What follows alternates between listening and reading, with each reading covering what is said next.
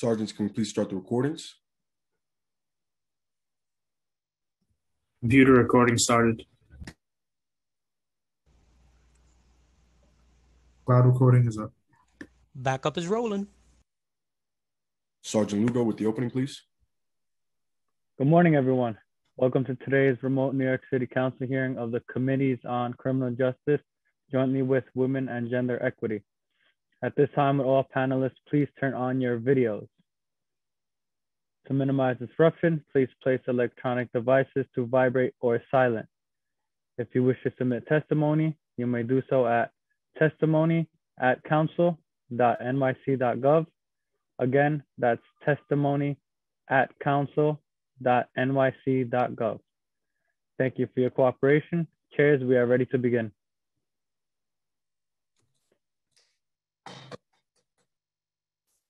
Morning, everyone. Nice to see you. Thank you to all the staff here for getting us started and welcome to our hearing. I'm City Councilmember Keith Powers, Chair of the Committee on Criminal Justice. I am joined today by Councilmember Darma Diaz, Chair of the Committee on Women and Gender Equity for today's joint oversight hearing on women's experiences in New York City jails.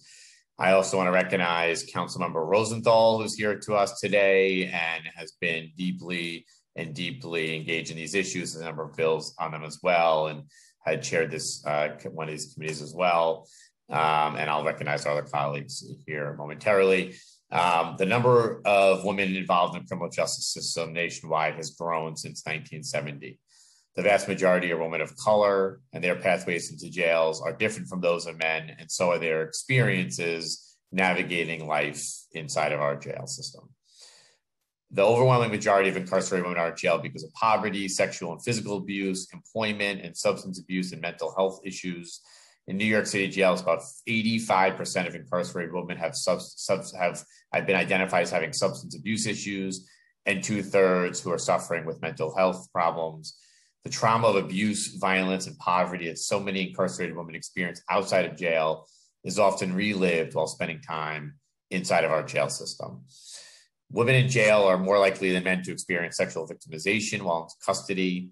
A 12, 2012 federal study found that the Rose M. Singer Center in Rikers Island had some of the highest rates of sexual victimization.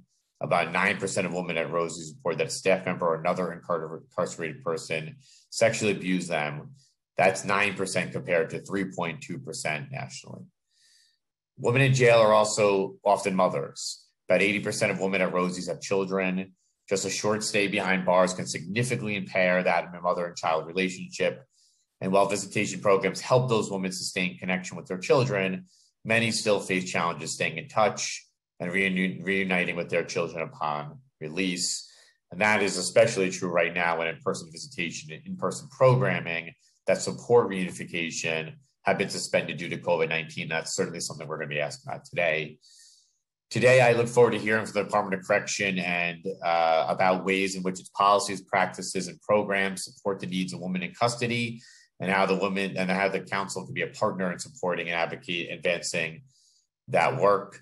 We're going to hear several bills by Councilmember Rosenthal. Intro 1646 would require the Department of Correction to use an electronic case management system to track investigations of sexual abuse.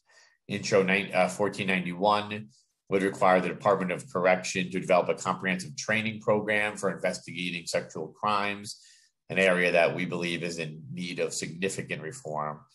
And finally, Intro 1209 would permit pregnant women in Department of Correction custody to use a doula or midwife services while in the delivery room.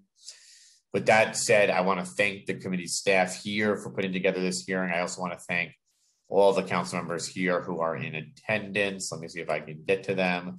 I see uh, Councilmember Holden, Councilmember Kallos, the public advocate, Jumaane Williams, uh, and I said Councilmember Rosenthal, Councilmember Lander, Councilmember Van Bramer, Councilmember Riley, and I, oh, Councilmember Ampry-Samuel, Majority Leader Cumbo. Uh, and I'm sure I missed somebody, but I apologize and I will make sure I get to you if I missed you. Uh, with that being said, I'm going to hand it over to my co chair today, uh, co chair Darma Diaz. Good morning. I'm trying to hold back tears. I'm just getting over COVID And, and I'm thinking about the women that are incarcerated and are in a much more difficult place than I am today. So as I move forward, my testimony, if I stop for water or for just a breath of fresh air, be patient with me because it was it was dear to me to take part in today's hearing. My staff worked really hard on this and I didn't want to let them down. But again, please be patient with me because definitely my heart is in it and women and incarceration is dear to us all. Good morning. Thank you, Councilmember Powers, for the conversation today and for allowing me to partnership with you. As I said, I am Councilwoman Darma Diaz. I chair the, Gender Committee, uh, I chair the Committee on Women and Gender. I'd like to also thank everyone who's participating here today. As my colleague noted in his opening statement, incarcerated women face many distinct issues from male counterparts. Over the past several decades, there has been a significant shift in women's involvement within the criminal system nationally. This is an implementation of more ex extensive law enforcement efforts and stricter drug sentencing laws, as well as a positive, no, not a positive, as well as a post-conviction barriers to re-entry that uniquely affect women. It is an important part of the conversations about our community and country, and especially around policing and how we deal with conflict, equity, and equality in our system. Issues around women in jail in particular have not prominent enough to popular topics. And as my colleague Keith, pointed out, the vast majority of women involved in the criminal justice system are women like me, women of color.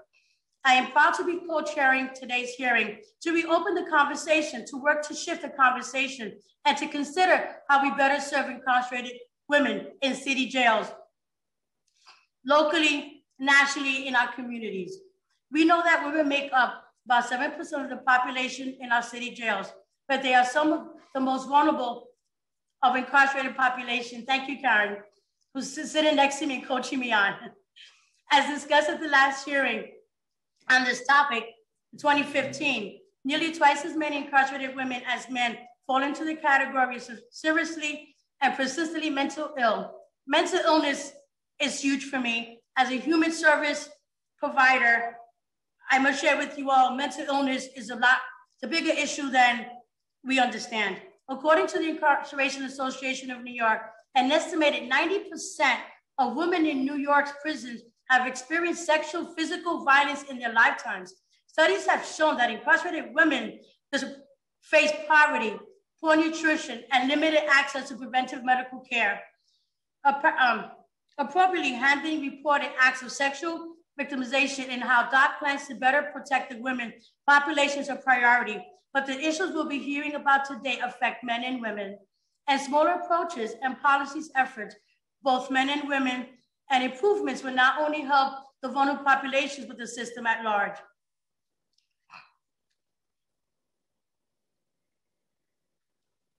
Additionally, as a mother and a grandmother, I feel the need to echo again the large number of women in prison and mothers and many the primary caregivers of their children. Or others prior to incarceration, incarcerating women in particular often places immense burdens on their children, families, and communities. While state law requires that children born while the mothers are in jail be housed within mothers during the first year with some expectations. I look forward to hearing how and when expectations apply and how we will, how else we are supporting families, particularly when in prison, visitations at Rosie's remain suspended. How, how so? I have a 16 month old grandson at home and just to think of my daughter would have not been able to be with him is devastating to me. We know that we know that support like family contact and visitation rights have a significant effect on reducing recidivism. But this is also matters for children and communities, especially during COVID-19 pandemic. Before turning back to Chair Powers, I want to mention that we are speaking to incarcerated women today. I look forward to continued conversations about gender equity and criminal justice system soon, specifically to the Committee on Women and Gender Equity. It is interesting, is interested in a potential follow-up hearing regarding related to the now overdue TGNCBNBI Task Force Report. And once the report is released by the Board of Corrections to both focus on issues related to GGNC and BI people in custody and report recommendations, including related to how they've been impacted and by the implemented. And finally, I would like to thank my staff and committee staff for preparing today's hearing, especially Karen Trey, my chief of staff, Richard Lawrence, my deputy chief of staff, Brenda McKinley, committee legislative counsel, Chloe Rivera, the committee senior policy analyst, and Monique People, our financial analyst. Again, thank you all for your patience with me this morning. I turn it back to Chair Powers. Thank you. And I think we're going to turn it over now to Councilmember Rosenthal for an opening statement, followed by our public advocate, Jumaane Williams. Great. Thank you uh, so much, Chair Powers. Good morning. I'm Councilmember Helen Rosenthal. My pronouns are she and her. And I do want to begin by thanking Chair Powers and Chair Diaz for this much needed hearing and for including three of my bills. Chair Diaz, you always bring your heart to these hearings, and um, that's what we need to hear. I really appreciate you. Um, and I too am really looking forward to hearing from the public uh, about these bills in this situation. All of us here today know that there's vast room for improvement of, and in some cases, reasons to altogether dismantle aspects of our correctional system. My bills under discussion today seek to address two urgent issues sexual abuse while in DOC custody and the shameful state of giving birth while in custody. Two of my bills address sexual abuse uh, while in custody. The first, Intro 1491, mandates that DOC's commissioner develop a comprehensive training program to investigate sexual crimes. Similarly, 1646 requires the creation of an electronic case management system to track investigations of sexual abuse. Well, I know the Department of Corrections has been working on this case management system for a number of years, um, it's time to shine light on what the hurdles are and to implement something responsible uh, now. As been shown repeatedly, trainings and DOC officers reporting on themselves will do little to improve conditions if they're not paired with independent oversight and disciplinary action. These are the kinds of important steps in addition to the legislation that we hope public testimony will touch on today. Finally, Intro 1209 will bring doulas and midwives to the aid of pregnant people who are in DOC custody. People in DOC custody, regardless of the rules, still give birth in shackles a well documented reality that should get, give everyone in this room pause. Ensuring the availability of doulas and midwives for pregnant people in custody is urgently needed and should be common practice, both inside and outside of jails. The presence of these healthcare providers is clearly shown to improve maternal health outcomes, especially for Black and Brown women. I'm proud that we're hearing this bill today. Thank you for joining us. And again, thank you, uh, Chairs Powers and Diaz. Thank you. And I think we're going to hear now from our public advocate, Jumaane Williams.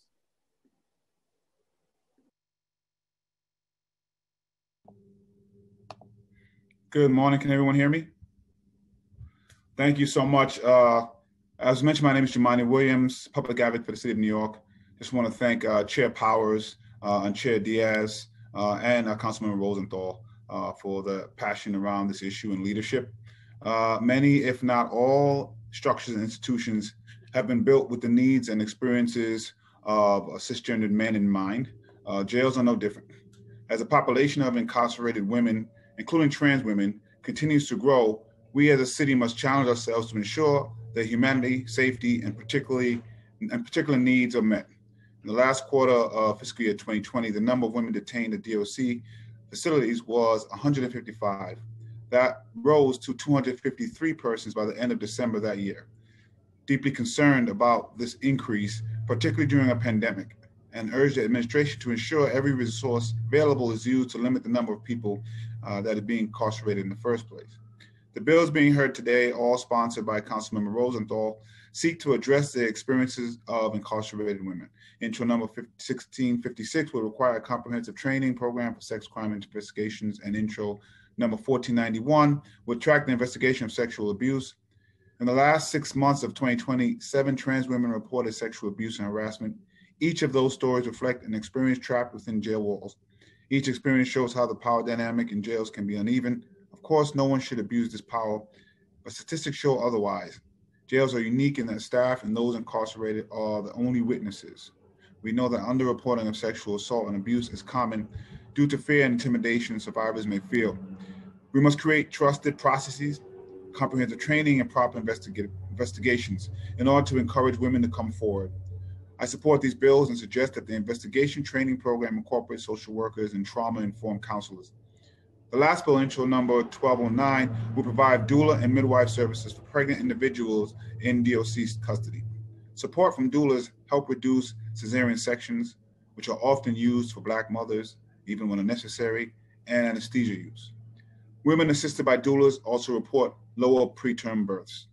Being pregnant in the DOC facility is a harrowing experience, as seen with the latest settlement for Black women who were shackled during pregnancy by police. These individuals are treated as prisoners first. Meanwhile, these individuals are expect, expected to negotiate with DOC for accommodations.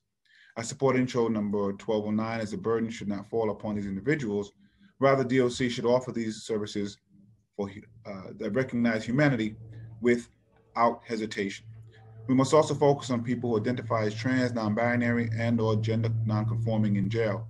Entering into the cycle of incarceration is dangerous, and it is difficult to escape from it. In the second quarter of the fiscal year, the number of people who identify as trans, intersex, or non-binary was 39. The fourth quarter of fiscal year 2020 only reported for people who identified as trans, which was 21. The increase may stem from a change in definition. Anyone who is incarcerated can enter into the cycle of incarceration even after leaving jail, which is especially impactful for trans, gender, non-conforming, and non-binary people. This is particularly alarming during a time when we are seeing so many anti-trans bills introduced across the country at a rate never seen before. It is alarming during a time when at least 10 trans people have been killed so far this year. We must make sure in the face of oppression and violence that there are resources available for those in the TGNCB community. Take hormone examples, for example, uh, take hormone therapy, for example. Correctional Health Services offers hormone therapy for anyone who requests it. However, this policy is unclear. Is there appropriate access to it? Are individuals given information related to its access and availability when detained? How many individuals undergo therapy, undergo hormone therapy? How many requests are there per quarter? These are some of the questions that should be answered and clarified. Moreover, DOC's special considerations unit raises concerns. In the second half of 2020, 18 applications requested to be transferred into this, I'm sorry, 18 applicants requested to be transferred into this area designated for TGNCB, TGNC-NB people were rejected. The agency must offer an explanation for rejection, which is not always given. Rejection can mean a higher likelihood of sexual assault, or physical violence for individuals. DOC must clarify why these applications are rejected because of the danger of not being appropriately housed. Finally, we must make sure of a plan to eliminate solitary confinement. Earlier this month, the governor signed the HALT solitary bill. It is the city's turn to end solitary confinement. The proposed rules from DOC do not appear to go far enough. There are serious issues with them that may that my office has raised at a recent BOC public hearing. Instead, we need to pass legislation to eliminate the practice and introduce plans to separate individuals without depending on isolation. It is the right option, especially two years after the death of Layleen Polanco. I appreciate today's discussion as it is difficult to escape from the cycle of incarceration. Women and people in the TGNCB community should have resources and opportunities to avoid incarceration. It's up to us to make sure of that. I really thank the chairs and the council member uh, for their work, allowing me to speak today, and look forward to hearing today's testimony.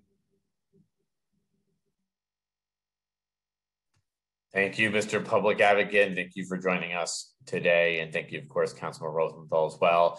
I'm going to um, uh, now turn it over to Community Council to go through just some procedural items before we start, and then we'll hear from our first panel. Thank you. I'm Agatha Mavropoulos, counsel to the City Council's Committee on Criminal Justice. Before we begin, I want to remind everyone that you will be on mute until you are called on to testify. When it is your turn to testify, you will receive a prompt to unmute. Please listen for your name to be called as I will periodically announce who the next panelists will be. We will first hear testimony from the Department of Correction, followed by a period of question and answer from the committee members to the administration. We will then hear testimony from members of the public. During the hearing, if council members would like to ask a question, please use the Zoom raise hand function and I will call on you in order. Committee members will be limited to five minutes, including responses. I will now administer the oath to all members of the administration. After I say the oath, please wait for me to call your name and respond one by one. Please raise your right hand. Do you affirm to tell the truth, the whole truth, and nothing but the truth before these committees and to respond honestly to council members? Ann Penson. I do. Judy Beal. I do. Serena Townsend. I do. Ellen Rivera. Dana Wax. I do. Dr. Colleen Vessel.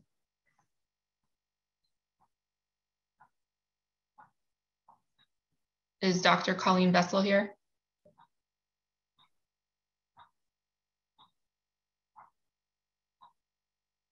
Okay. Um, Dr. Zach Rosner.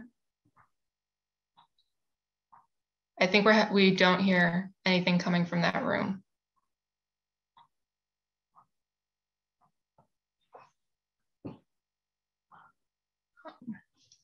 One second.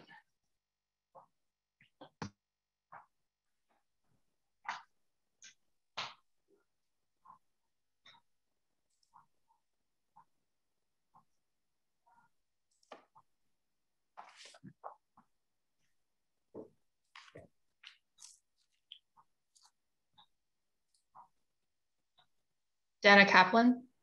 I do. Sorry, just waiting to hear from the CHS room. Um, Jeanette Merrill.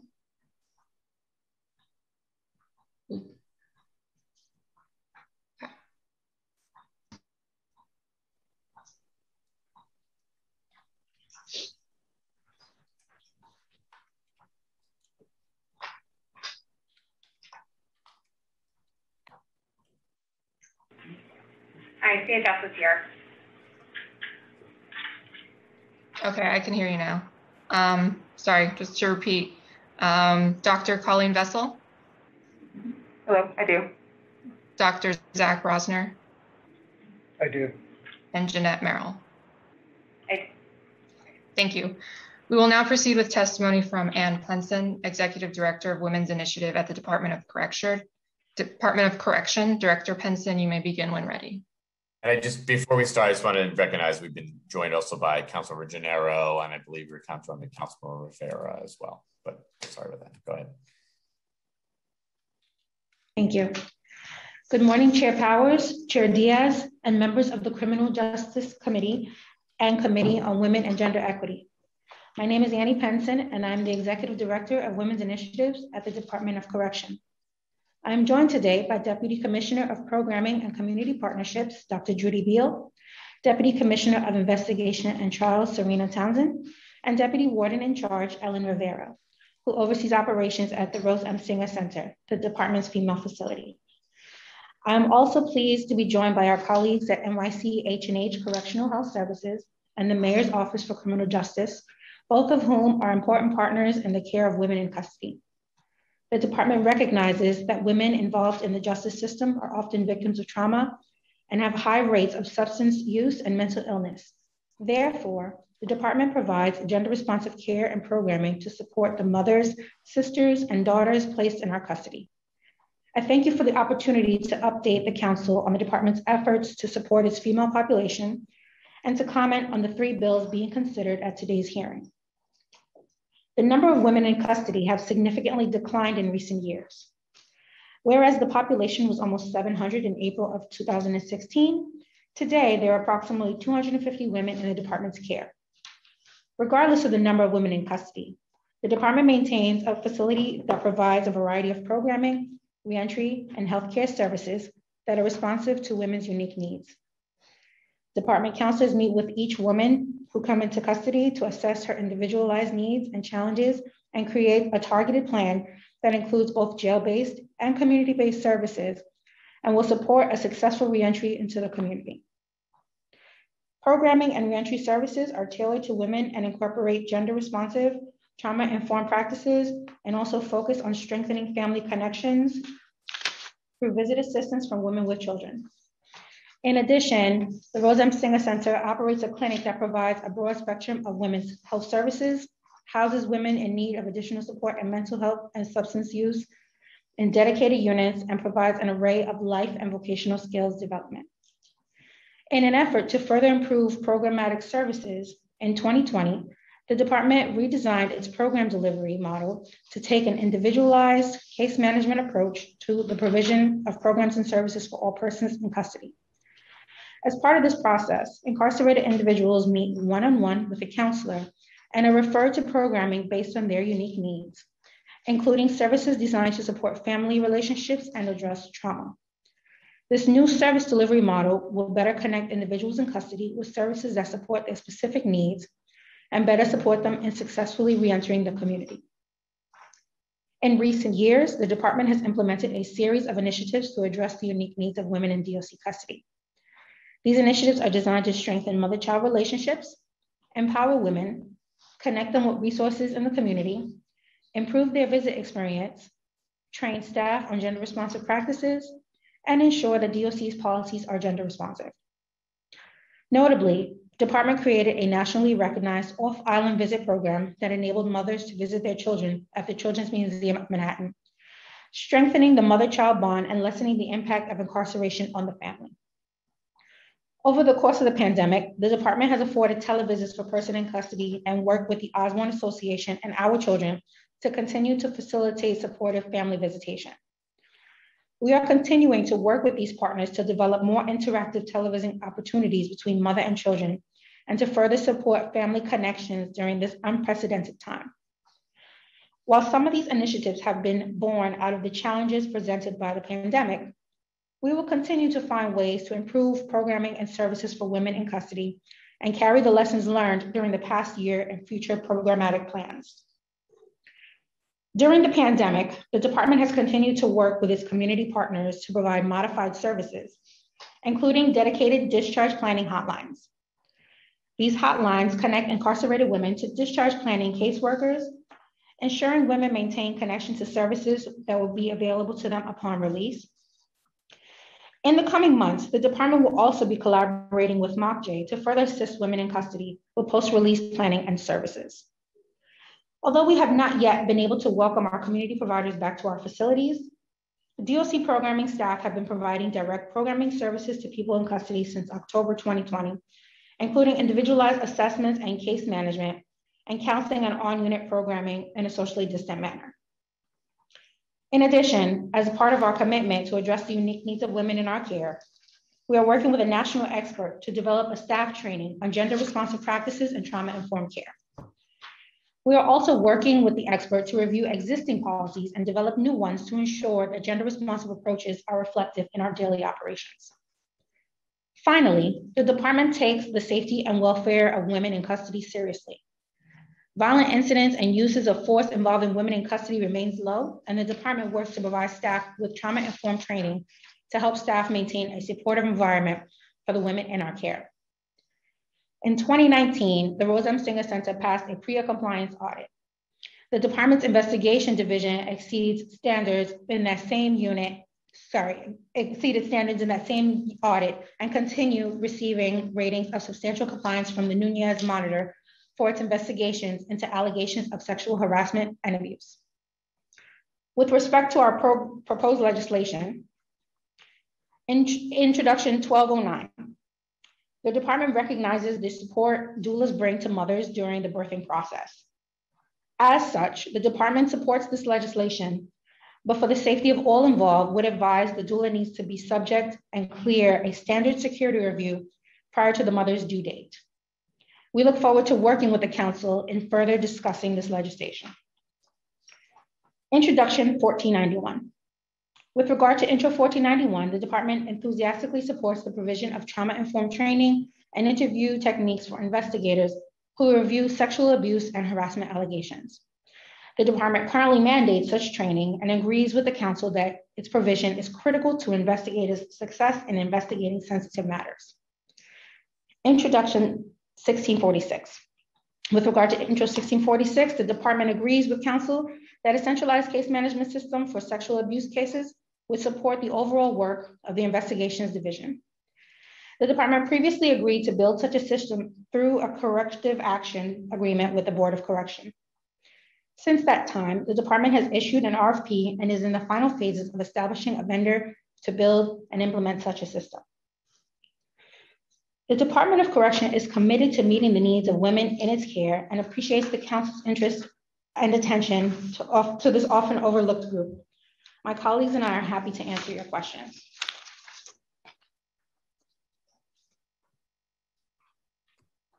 Thank you. And CHS, you're here to answer questions, but not to testify. Is that correct?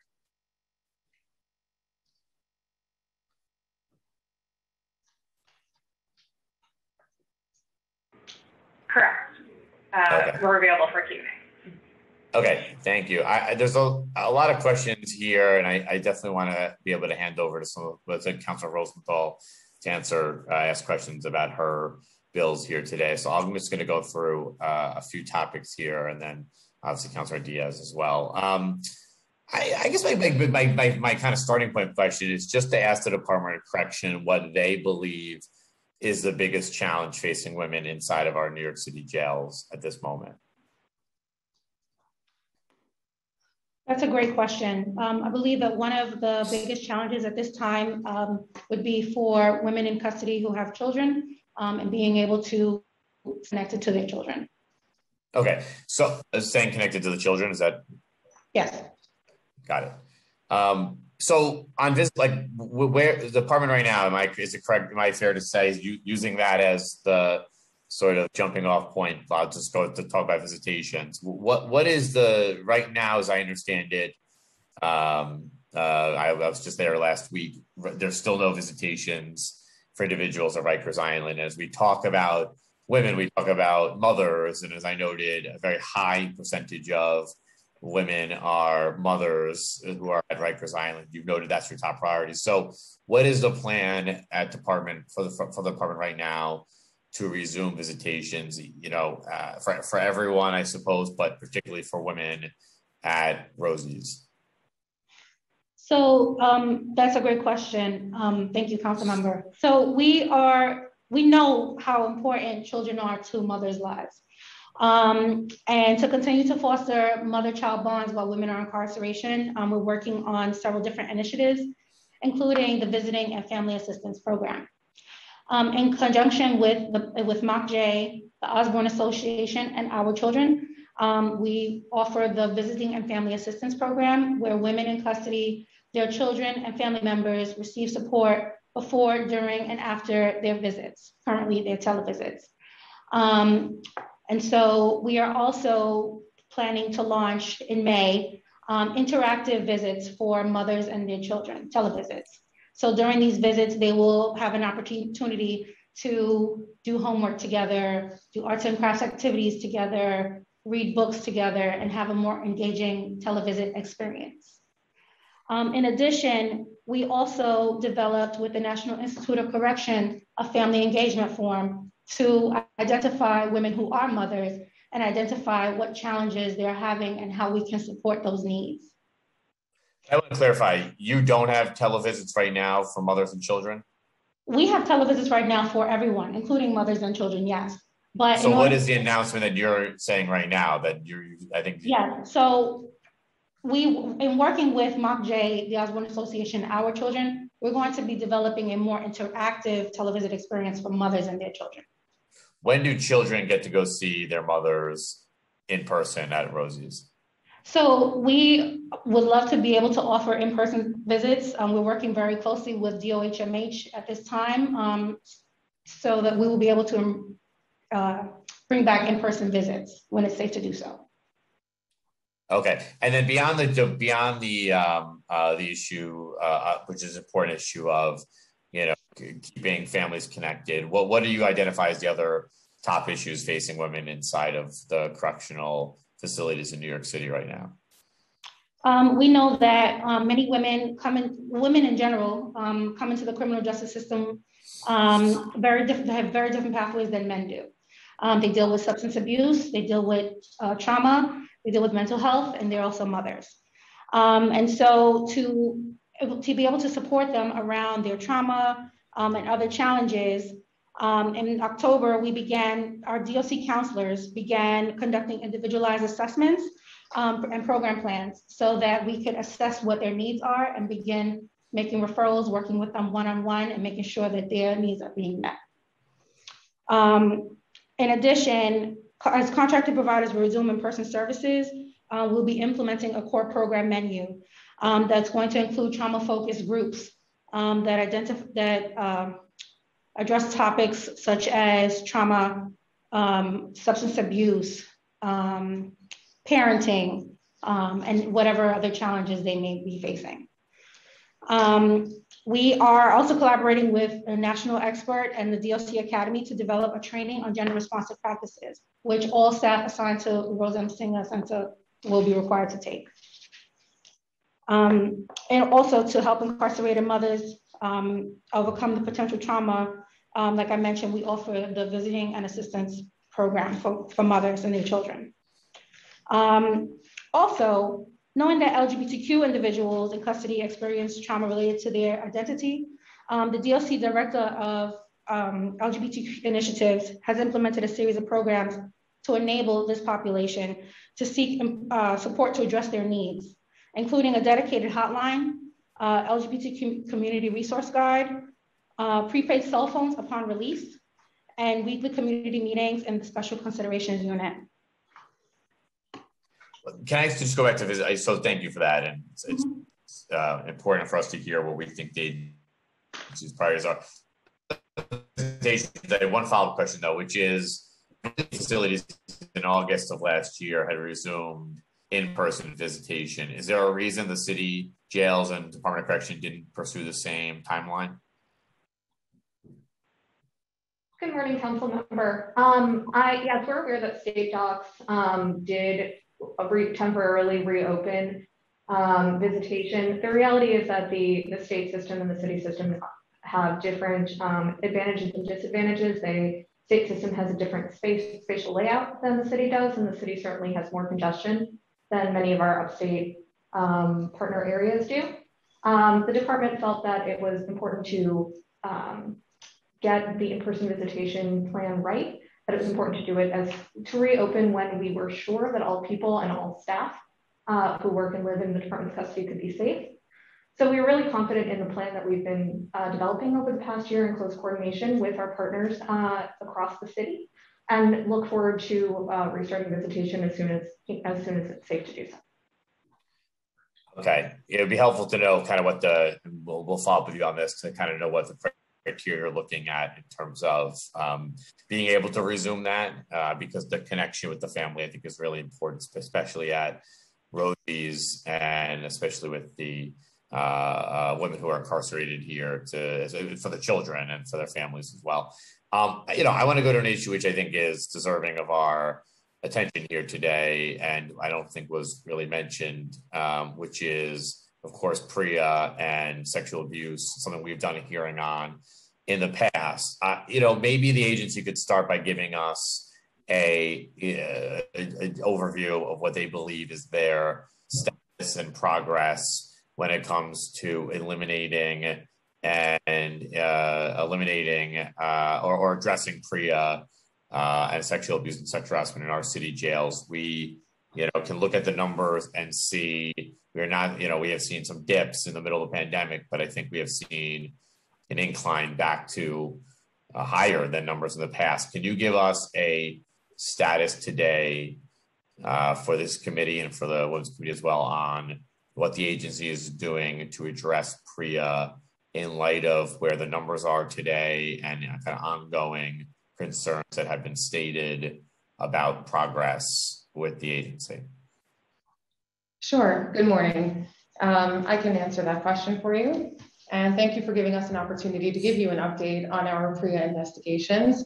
Um, I know the last time we spoke was probably in 2018 when we had um, somewhat of a backlog in our investigations for PREA allegations. And I'm happy to report that since October of 2019, we actually do not have that backlog anymore. Uh, and so we, we take every sexual abuse and sexual misconduct allegation extremely seriously in the Department of Correction. Um, anytime that there is an allegation of sexual abuse, we take immediate action. What does that look like? We refer it immediately to the Department of Investigation to see if they want to investigate criminally these matters. We um, we make sure to interview the alleged victim and separate the alleged victim from the alleged perpetrator immediately. We uh, afford the alleged victim mental health, ministerial, and victim services and conducted a preliminary investigation. All of that happens within the first 72 hours of the actual allegation itself.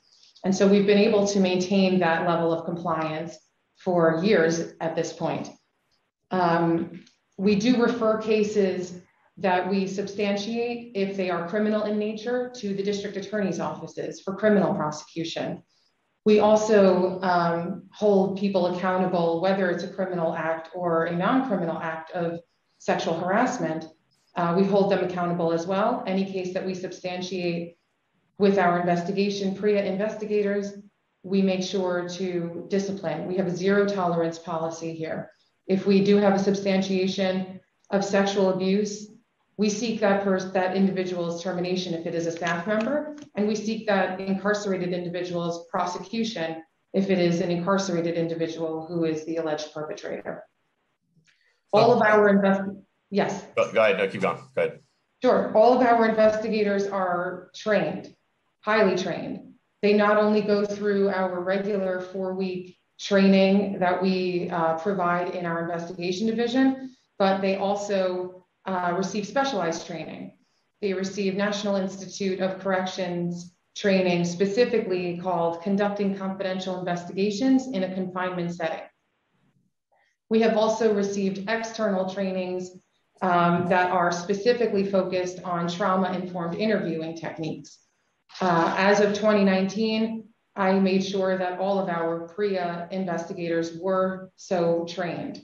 We had 72 investigators uh, including all of our PREA investigators trained in trauma-informed training at that time.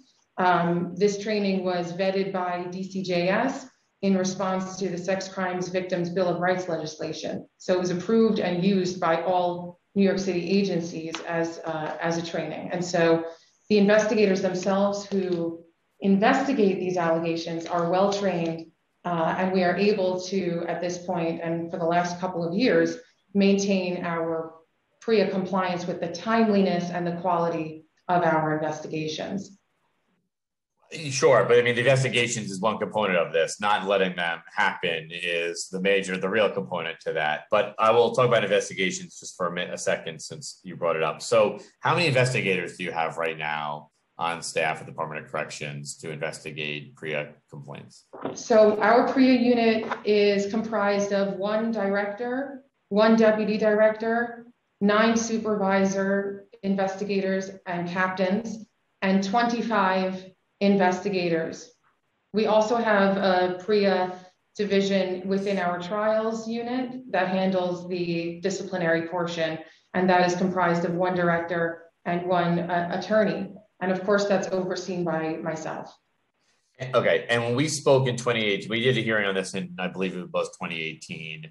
Uh, there was a massive backlog of of uh, cases that need to be investigated, which I think you have said has been cleared, and you had said that in 2018 you were, you know, staffing and working to clear those cases. But if I recall, and I my memory is I'm doing this off memory, but I I think if I recall, step one was clearing a backlog that had existed, and then up to that point in time and then playing catch up with the cases that, or, you know, addressing the cases that were coming in at that time. Are you saying, when you say clear backlog, are you saying that you have no past cases right now in under investigation? You're correct, and very good memory. Uh, we did have a two-step plan. Uh, the original backlog was approximately 1,200 cases, and that was in June of 2018. We cleared all of those cases in by February of 2019, which was our corrective action plan due date. Uh, there had been a secondary backlog, as you mentioned, that had accumulated while we were focusing on those 1,200 cases. That secondary backlog was 266 cases, and those have been cleared as of October 2019. And so, you, yeah. can you give us the outcome of those 1,200 and 260 cases? Can you tell us, share with us what were the breakdown of outcomes for those cases? Because doing them is certainly important, and I have more questions about it. But you know, knowing sort of how these cases were resolved would be would be helpful. Absolutely. So I don't have exact numbers. I can get that to you of these particular cases. Um, I do want to mention that we were audited, and those cases were involved in looking uh, that the auditor looked at when they audited our investigations. And we had exceeded standards with respect to the quality of our investigations. So I do appreciate that there is a concern that you know the backlog needed to be addressed, but it shouldn't just be addressed uh, by numbers, it needs to be quality investigations. And we maintain that level of quality. We have been audited by uh, an external auditor. We also have the federal monitor who looks over our uh, some of our PREA investigations, and we have been in substantial compliance um, from the federal monitor on our PREA investigations that they have overseen. So there is a lot of oversight that occurs externally in an unbiased fashion um, to check and see if our investigators are doing a good job, frankly. And we have routinely and for years been deemed as exceeding standards or in substantial compliance. Uh, but I can get you those exact numbers offline. That's no problem. And what is the average duration? Thank, thank you for getting us the data. What is the average duration of an investigation? PREA investigations do not exceed 90 days. Okay. Although you had been in the past in the past, but we have fixed the problem. And you are saying that 100% of cases today are with are being resolved, are being investigated within 100 days. I mean, sorry, 90 days. So I have a caveat to that because if the investigation is being looked at externally for criminal charges, either by the uh, Department of Investigation or by um, a district attorney's office, then that sometimes does take a little bit longer, understandably. So those cases do linger. What I can tell you is our current open caseload is only 101 cases. And the cases um, that we have are, um, we have 61 cases that are open from 2021. We have 27 cases that are open from 2020. And we have uh, a smattering of 2019 cases that are open that are just open because they are being criminally investigated and or prosecuted. All right, so 2019 cases are being criminally investigated. 2020, just 27 cases, you said? That is correct. Those are all being criminally investigated? I there there I would say that about half of them are being criminally prosecuted and the other half are only open currently because we had to do a little bit more of an extensive uh, investigation on them that required further interviewing, but the vast majority are uh, under the vast, vast majority of the open 104 cases are under 90 days. But I so I'm now confused. So 2020, you would agree with me, right, that it would be impossible to do 90 day review and have a case still open from 2020, right? That's impossible. It's, it's April 27th. So Correct. How do you have say you're in full compliance when you now are telling us you have 2020 cases that are still open and they're not all criminally investigated? I'm telling, I did not say full compliance. I say PREA investigations have to be investigated within 90 days. We are in substantial compliance. Well, well, you did say there's no backlog, right? So that would wouldn't that consist of being a backlog? If there's about 10 or so cases that are still open somewhat past 90 days, then then if we can deem that a backlog, we can deem that a backlog. But um, those are cases that the traditional, in the traditional sense of the word backlog, it's cases that have not been attended to. and that's just not accurate. We have investigated them. They require a little bit more of a little bit more work because they might be a little bit more extensive and require some more interviews, but they have all been uh, investigated within 90 days. They have to be closed expeditiously, which they will be, aside from the ones that are being um, investigated externally.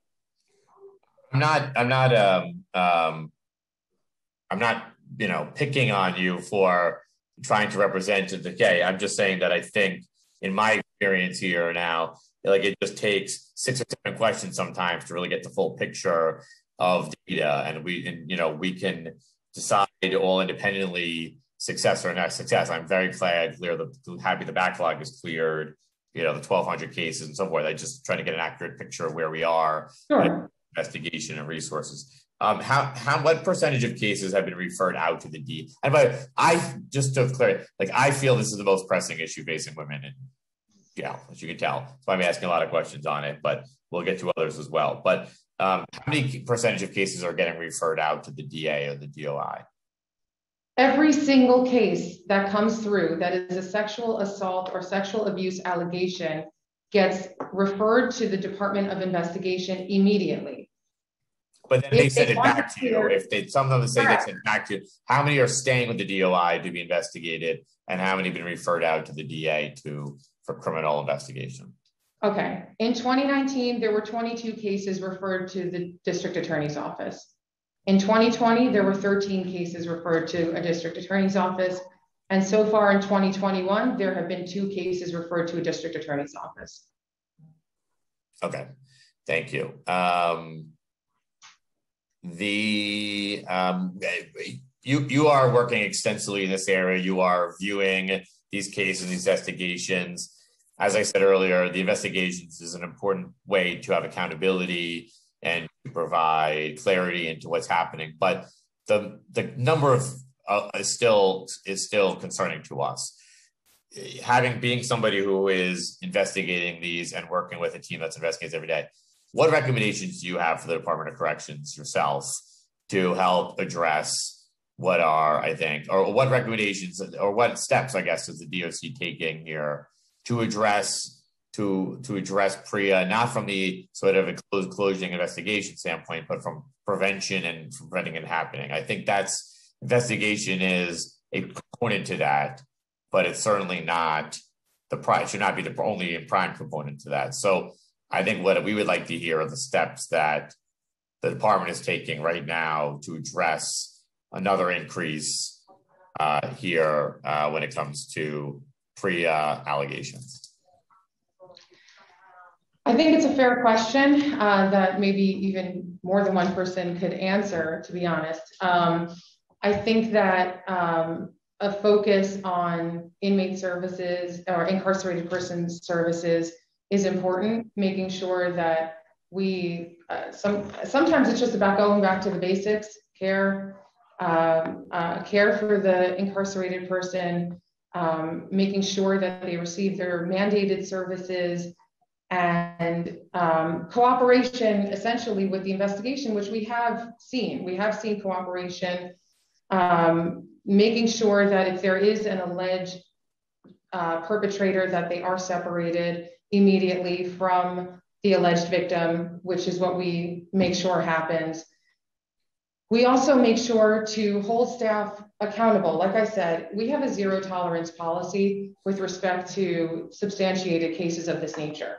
And there's nothing more in my mind, um, I guess, influential than if somebody does something wrong and is then held accountable because then their colleagues can see that they are being held accountable and their colleagues will take a beat before doing uh, something similar in the future. And so, you know, I think accountability is obviously important. Um, I think making sure that mandated services are given is important and just paying attention to what's going on. Just having your eyes on, on what's going on in the jails. It's important because what we do see is more often than not, the substantiations are coming um, from allegations between incarcerated persons rather than a staff member committing the act of misconduct. Most of our um, most of our substantiated cases involved incarcerated persons um, doing the misconduct. And so that is something that I think is important. Just, just making sure that incarcerated individuals are treating each other the right way. Uh, because like I said, that's where most of our cases are coming. And And- Yeah, good. Sorry, so to DC Townsend's point um, regarding basics being being critically important to the sexual safety conversation, um, sexual safety really does begin at intake. Um, upon intake, all persons who enter custody are uh, screened for a variety of classification concerns, including uh, whether or not they were previously a victim of sexual victimization, including whether or not they were previously um, convicted of a sexual abuse allegation, and the department works to ensure that people who are previous who are known sexual victims or known sexual abusers are, are housed in separate areas of a housing unit or housed in separate housing units um, and are certainly known to the department. Um, I'm sure Deb Rivera also can provide a little more information about pre rounding that happens and as well as the classification Yes. tool. So, uh, good morning. So as far as what was mentioned with the, if an individual has identified or has uh, informed staff that they were a victim of sexual abuse, or if they were convicted for a sexual offense, we would not house an individual, an SA with a SV, um, a sexual abuser with somebody who um, is a victim of sexual assault. Uh, those individuals would be separated. In addition, the supervisors are tasked with conducting pre-announced tours and documenting those tours in the logbook. Staff is also reminded to conduct their tours um, of the housing areas, um, make a tour and to ensure that uh, nothing inappropriate is occurring. And if they are informed of any sexual assault or allegation, they are to immediately inform their supervisor and those individuals are separated and afforded medical and mental health services and PREA is immediately notified. Okay, I want to ask CHS just for a question, uh, just for a second. Can CHS, can you talk to us about your role whenever an allegation of sexual abuse or harassment is made at a city jail, what that process is? and- Hi, good morning. Um, so I'm Dr. Colleen Vessel. I'm the site medical director of the Rose M. Singer Center. Um, thanks so much for having me um, come here today. I'm getting into this work as a matter of health equity and social justice for, for me and many people at CHS. So I'm very happy to speak today about you know, the work they're able to do on behalf of our patients. Um, when when we do have patients that, that we learn of that have made a, um, a sexual allegation or a PREA complaint, um, our usual, well, we, as clinicians, we are mandated reporters. So our first role is to see the patient, you know, get more information, you know, from there in their own words, what, you know, what occurred. And um, from there, we uh, report, uh, report the, um, report the issue to our operations department, who then, um, essentially who, who keeps track of, of the complaints. We also see the patient clinically, determine, examine them, determine if they need to be connected to further me- uh, medical services uh, in the uh, in the ER, for example, to have a, a forensic exam if that's appropriate. We also then connect them to mental health services and to our sexual abuse and advocacy program, which um, follows up with the patients afterwards to to meet their needs. Okay, and um, I, you know, I, I have like a whole set of questions, but I know that there's a bunch of people behind me, so I, I'm going to come back. I got some more PREA questions and some things about Rosie's and things like that I want to get to, but I do want to actually just use an opportunity. Thank you for that answer, but I'm going to I'm going to come back. Uh, I want to make sure I get to Chair Diaz, Councilor Rosenthal, and others as well, and then I'm going to come back with some more questions uh, from there. But I want to be respectful of everybody's time here. Um, so I'll hand it over to Chair Diaz, and then I think we'll go to members as well. Thank you. I, I like to begin with asking all of you that are reporting to be real sensitive when you speak to numbers. As someone that has been a victim of domestic violence and has spent my career in advocating for individuals, it's somewhat offensive to me when we describe a situation, uh, our data as under 10 or 10 or so. At the end of the day, we're social service providers, and it's our business to assure that each case is solved favorably. You know, I'm here looking at, at Dr. Victoria Phillips' um, reports, and actually, and it's, it's, it's, I'm saddened, I'm pissed, and I'm annoyed that we have someone who probably has more accurate data than was being reported to us. One case too many, is too many. Let's not forget that lives are being impacted. And that's the bottom line. Being incarcerated has to be amongst the most difficult challenges an individual can face. Separate and apart from being a woman who's the lesser, who is not as strong, I would say, physically, and to think that women are being, anyone is being sexually abused, and we have a system that's callous, that says it's numbers, we have issues with data. To me, data means the world. If it's an issue of you're understaffed and that's why you cannot get the data done, talk to us as a council. That is help you. Help us help you. But looking at, we're looking for answers from 2019. I'm looking at messages here from 2015. That's not okay. Not everyone that's incarcerated is a bad person. And it also doesn't mean because you've been incarcerated, you can't make it out and be productive. So for those of you that are in the comfort of this beautiful desk that I'm looking at, go, we think of that. It's your duty to serve our people. I have two dear friends. One spent 17 years incarcerated and the other one 16 years. And you would never believe the transformation that these two women did with their lives. One of them had a child while incarcerated. Unfortunately, I was not able to get her to come in today and testify. But today she is running a nonprofit and serving women in need.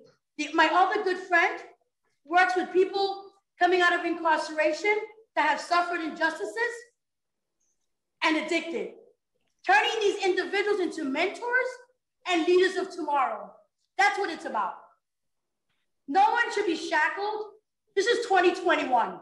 Let's get it right and get it real. And anyone that's incarcerated and dealing with COVID or the after effects of COVID, it's real. Those of us that have survived it have to fight harder. So again, those of you that are overseeing and, and monitoring individuals with special conditions, let's keep it real. Let's keep it sanitized and understand that when you're reporting to us, one life is one too many. I'm gonna go on to ask you because I, I know that my, my colleague asked wonderful questions, some that I would have asked myself, and I, I didn't get um, a total satisfaction with the answers.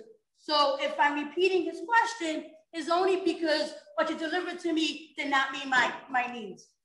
I'd like to go back into your process of when you identify that a staffer has indeed violated someone that's incarcerated's rights. It's is there after 90 days, uh, you know, we what's what's your true process when someone when there's an allegation against someone, and if there is an allegation does not lead to termination, what is done? Is there sensitivity training? What are we doing to ensure that if this individual had a sliver of possible negative behavior, that we're addressing it? Can someone answer that first question for me? I'll handle that question. Um, first, I would like to say that I've actually dedicated my entire life to seeking justice for people who have been victimized. You may not know that about me, but that is who I am. I Thank spent 10 years at the Kings County District Attorney's Office prosecuting crime and with a specialization on sex crimes prosecutions. So I have spent my life in the courtroom advocating for victims. So thank you for letting me address, address that first. Thank you. Secondly, you're welcome. Thank you. And so speaking of the allegations, I want to make something very clear because when we get an allegation, um, it doesn't mean that somebody has indeed done what has been alleged. And so we have to look at that. However, the simple fact of the allegation causes us to respond immediately, even if it doesn't end up substantiated. And so what we do immediately is separate the alleged victim from the alleged perpetrator immediately. And that separation order stays in effect. We also immediately send the allegation, if it is one alleging a criminal act, to the Department of Investigation to see if they want to take it over to investigate it for a criminal um, prosecution. If they decide not to, they refer it back to us for administrative handling. Uh, that's the, that's any allegation against a staff member. If there's an allegation uh, by an incar incarcerated person against another incarcerated person, those two people are also separated immediately. Um, and if there is any inclination whatsoever from us in those early hours that this will be a substantiated case, we refer that to a district attorney immediately because that is the body um, that has to handle the criminal prosecution if, if it does amount to that. And so all of these steps are taken very, very quickly. And so I don't want any, you know, I, and it could be my fault, maybe I misspoke.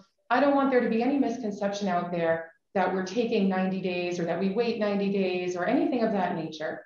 Uh, because you're right, it is a very sensitive issue. And if something did happen, it needs to be addressed immediately. And I want to assure you and everybody that if we do substantiate something like that, we do have a no zero tolerance policy. And even if it doesn't rise to the level of criminality, we will take it all the way.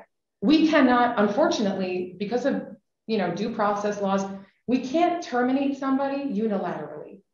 Uh, if it's a staff member, for example, we have, we have to go through the process. The process uh, involves going to the Office of Administrative Trials and Hearings, OATH, seeking that termination. I want to say we actually did, you know, we don't have that many cases, to be fair, where things are substantiated to that level. But when we do, we go all the way. And I'll give you an example. Back in 2018, we did have a, a case of that nature um, and we took that person to trial because we wanted to terminate that person. Throughout the whole waiting period, that person was modified without any inmate contact, of course. Um, we took the trial and won. However, OATH uh, in their uh, recommendation did not terminate. They wanted to remove days from that person. We did not think that was enough of a penalty.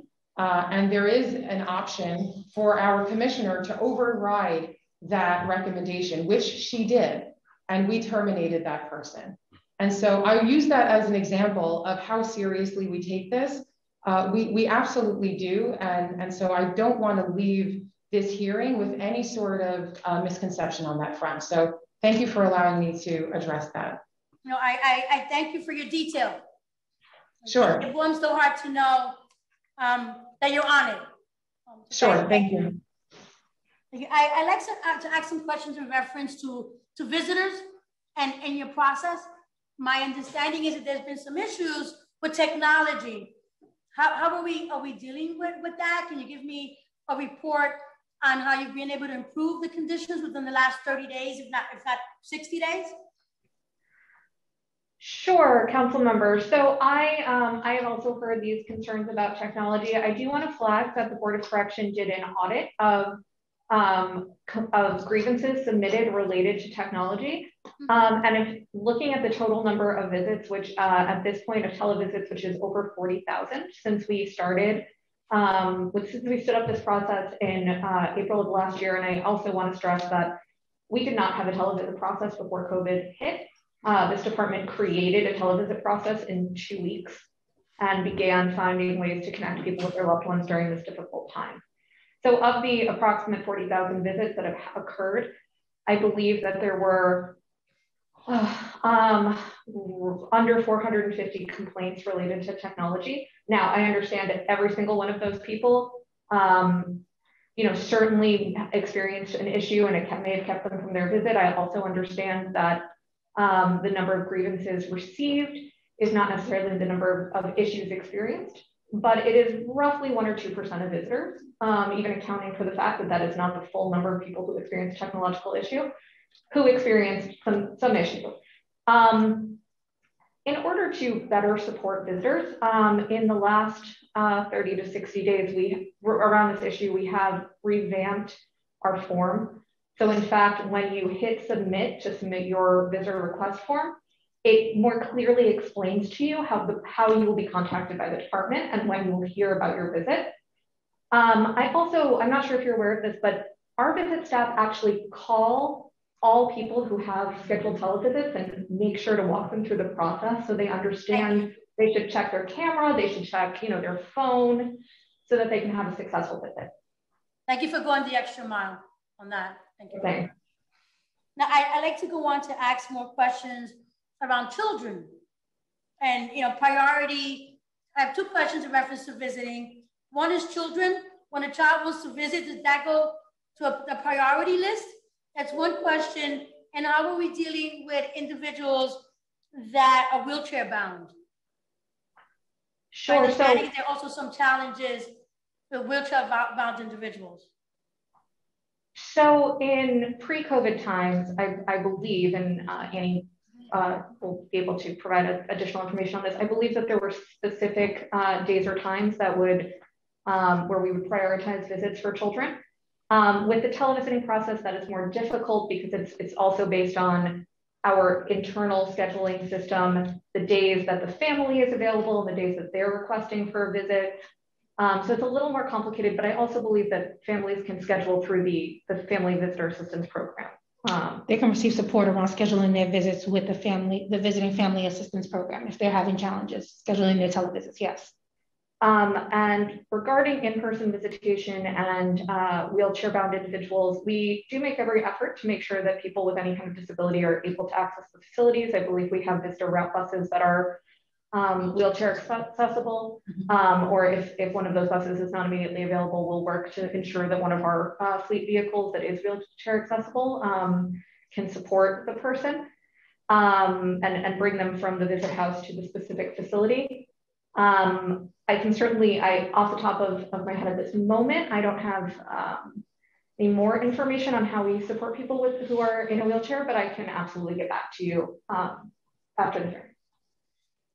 Thank you. I just have two more two more questions. I'd like to go back to victims and how do we deal with um, the aftercare once they've gone through the process and you validated that what they reported has been legitimate. So I, you know, I can leave that to my colleagues, but I will tell you at least for our purposes in the investigation division, if and when something like that does happen, we are with them the entire way. So for example, uh, I mentioned that we had two cases that we substantiated that we sent over to the district attorney's office for prosecution. So what we do is we do everything that we can to make these individuals comfortable throughout that process. I know as a former prosecutor that it is very difficult to come forward and especially to speak with prosecutors with the intention of potentially getting on a stand and testifying. And so what we do on our end is our investigators will help even with transporting. Uh, we won't do the transport, but we will help facilitate and make sure that the individual, if they do need to go to, let's say, see a prosecutor to tell what happened, that they are in the right hands and that they are helped through that process. Um, and I'm sure I can't speak for my colleagues at the district attorney's office, but I know that they always um, have advocates present over there as well. Um, and so uh, we, we do everything that we can throughout that process to, to give support and lend support to the alleged victim. The department also has um, sexual support, sexual assault support hotlines. We uh, partner with um, Safe Horizon to provide a dedicated hotline. Um, I believe there's also a uh, sexual assault support hotline through CHS, and perhaps CHS can speak to their support. How does one access the support hotline?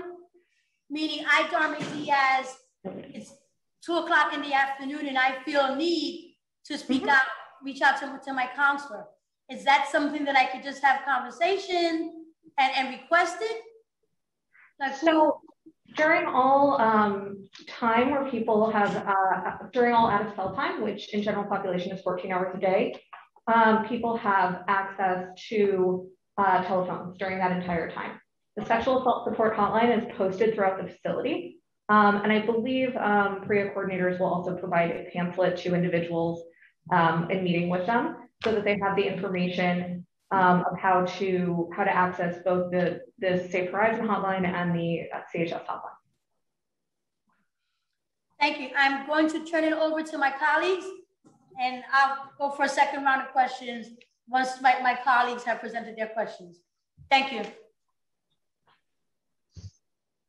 Thank you. Thank you. Oh, good. Good. I will now call on council members in the order they have used the Zoom raise hand function. If you would like to ask a question and you have not yet used the Zoom raise hand function, please do so now. Council members, please keep your questions to five minutes. The Sergeant at Arms will keep a timer and will let you know when your time is up. Uh, you should begin once I have called on you and the Sergeant has announced that you may begin. First, we'll hear from Council Member Holden, followed by Council Member Rosenthal. Time begins. Uh, Thank you, everyone. I'm sorry I had to jump off to another hearing, but um, uh, what percentage of the detainees have been vaccinated? Hi, good morning. Um, so as of right now, we're just under 50% of women have been vaccinated. So just under 50%. um, Yes. Of women. Of women, yeah. Yes. uh, Now, does, uh, is that, um, why only 50%? Is that because it wasn't available, the vaccines? No, actually, or I mean, the- I would say, con- oh, I'm sorry, sorry, go ahead. Or some of the detainees just refused to take it, to get it?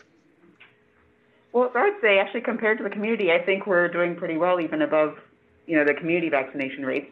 Um, we've actually, um, CHS pretty early advocated with the state to be able to vaccinate um, patients who otherwise would meet state criteria. As I'm sure you're aware, initially people in custody were left out of the high risk group. Um, but through being able to vaccinate people in accordance with state guidelines, we're able to start pretty early. So we started in January vaccinating our highest risk um, patients. And as the state criteria opened up, we continue to vaccinate from there. Um, so at this point, we've actually, as I mentioned, reached about half of women. We have done a lot of outreach efforts, which includes reducing barriers to getting vaccinated. So we've gone to the housing areas to provide education. Additionally, even vaccinating in the housing areas if they're open to it. We've opened up a sick call line where people can call and say that they would like to get vaccinated, and we'll put them on the schedule. Um, we've set up kind of a, like a pseudo mass vaccination site once a week where we can call as many people down as who want them to come to get vaccinated. And for every person that was in custody, um, we've actually, I've actually scheduled a one-on-one appointment to be able to discuss um, the pros and cons of vaccination um, with a provider. And so all those things together have um, led to actually the highest vaccination rate of any building on the island. All right, just, um, when was the last time family members or especially children were allowed to visit their, their mothers?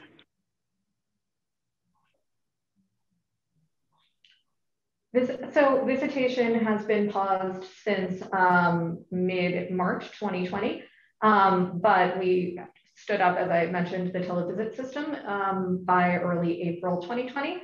Um, so family members have continued to visit their, their incarcerated loved ones through that system. So, I'm sorry, I missed that. I couldn't hear. You- Sure. So um, televisit, or sorry, in-person visitation was paused in March, mid-March 2020, in line with uh, you know the height of the COVID pan- COVID-19 Yeah, I pandemic. got that part, but I just missed that little second part you said. Oh, that we so as I as I mentioned, within about two weeks, we stood up a televisit system as I as I described, and so family members and children have continued to be able to visit their incarcerated loved ones through the televisit. So, so what's the plan now to have uh, in-person visits? When, when is that going to happen? I don't have a definitive date to share with you today, but we're working very closely with our health partners um, and city partners across the city and have been spending the past year setting up and getting ready for a safe return to in-person visitation.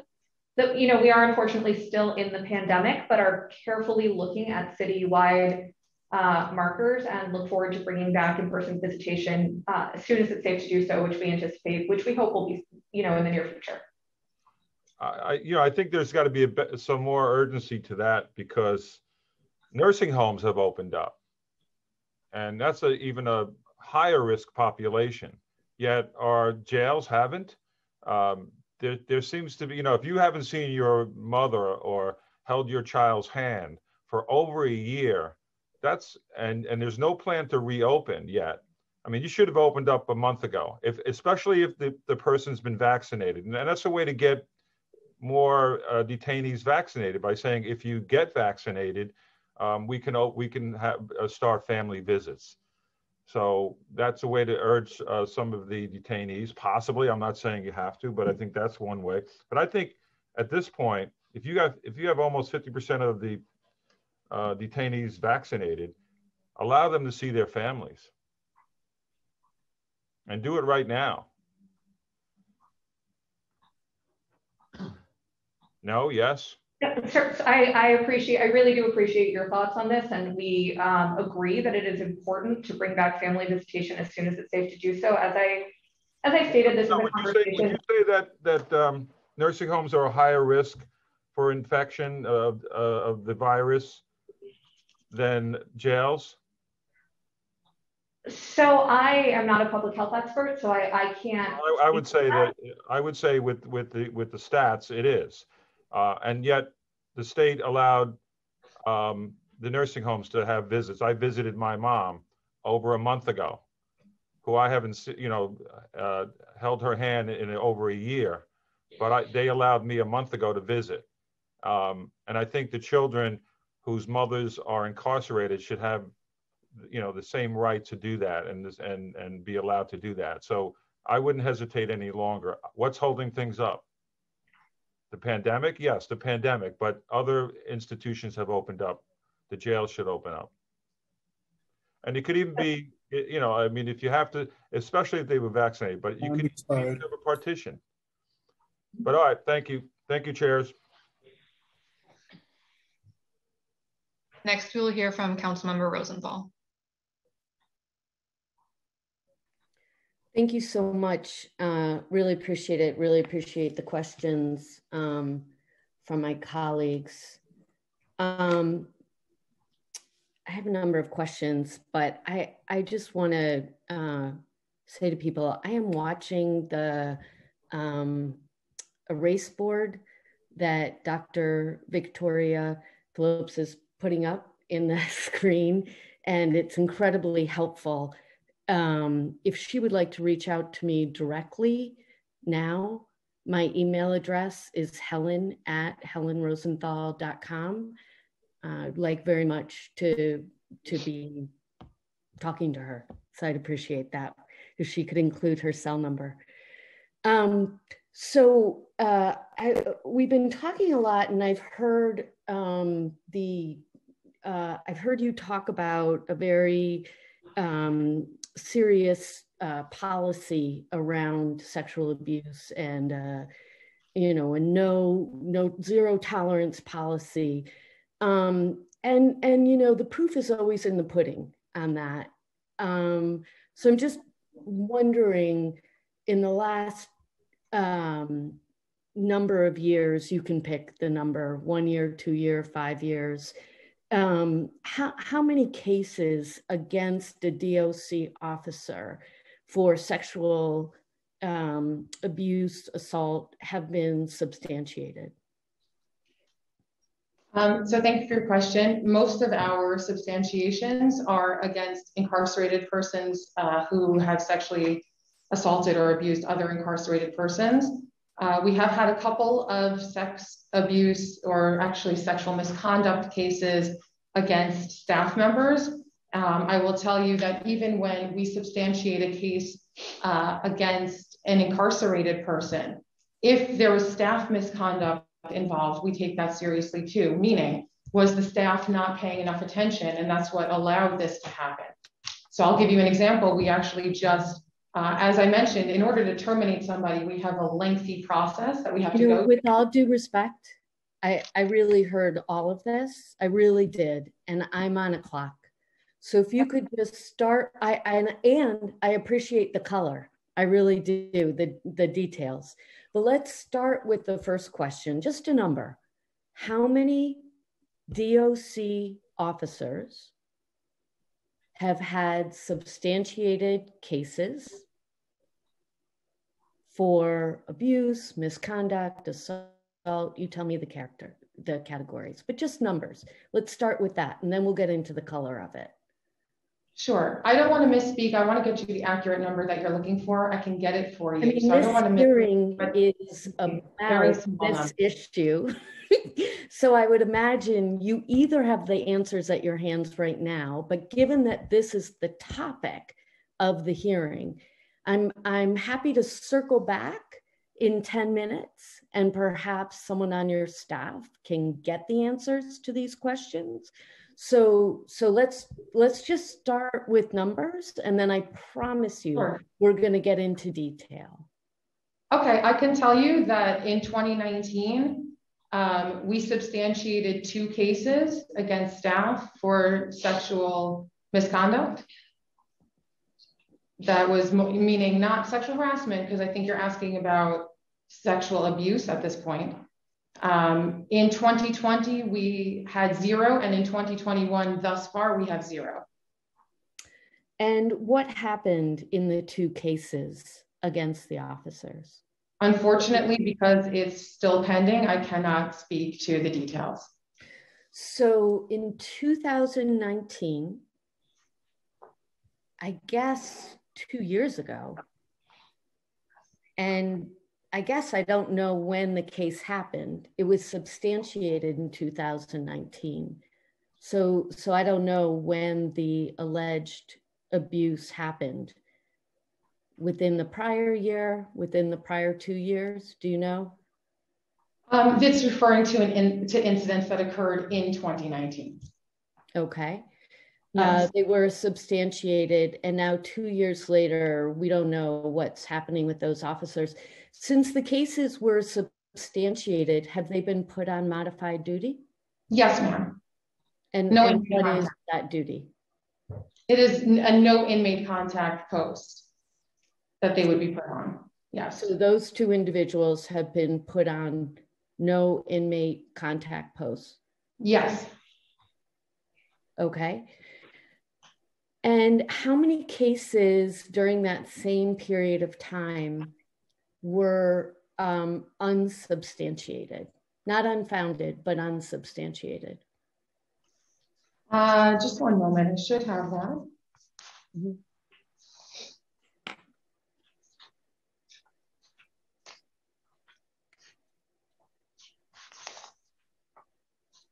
You know what? I don't have it in front of me at this time. I can get you that information. I know we're on a clock. I can get it to you.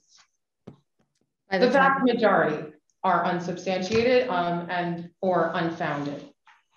Yeah, I noticed that, and that's exactly what I want to ask about. What What do you think's going on there? I mean, look, I I know I I'm sitting and asking from a privileged position. I don't go into Rikers every day. I don't work there. I'm not an inmate, so I, I appreciate that. And I, I, I'm asking this question without seriously all due respect. But what do you think about the fact that, I mean, the numbers around 500 or more are unsubstantiated or unfounded? What, what are your thoughts about that? Well, the cases that are unfounded are cases that we are able to actually prove but with concrete evidence that they uh, that they did not happen. Uh, cases that are unsubstantiated, technically, that means that there's not enough evidence to prove that it did happen by preponderance of evidence. What do I think? Uh, we do, you know, there are situations where we have um, reporting concerns uh, with with individuals. We have, for example, um, just in the last period that we collected data on, the last six months of 2020, just five inmates were responsible for reporting 36% of the department staff on incarcerated person allegations. And a total of 10 inmates, if you take the, the next five and include the 10, were responsible for reporting uh, 45% of the allegations. And so we do have um, sometimes situations where um, in, individuals may be reporting and it, and reporting over and over and over and over again. And we, of course, have to take every single one of those allegations seriously, which we do. And we respond to every single one of those allegations, uh, like I had described earlier, immediately. Separate. Think for those allegations, um, would it be possible for those individuals to be connected with um, someone at Safe Horizon? Yes. An advocate who can help them think through what's going on? Yes. Yes. And are they? So when they when we go down to do our investigation initially, we make sure that we do give them the Hope for Healing pamphlet, mental health ministerial services, things of that nature. Um, that, phone number. that does include the phone number to Safe Horizon. And are And they so- given any privacy when they make those calls? I would have to defer to my colleagues on that. I will tell you that they are given privacy when we when we interview them. We make sure to do so in a confidential setting. No, no, We make- they given privacy when they reach out to Safe Horizons or another advocate.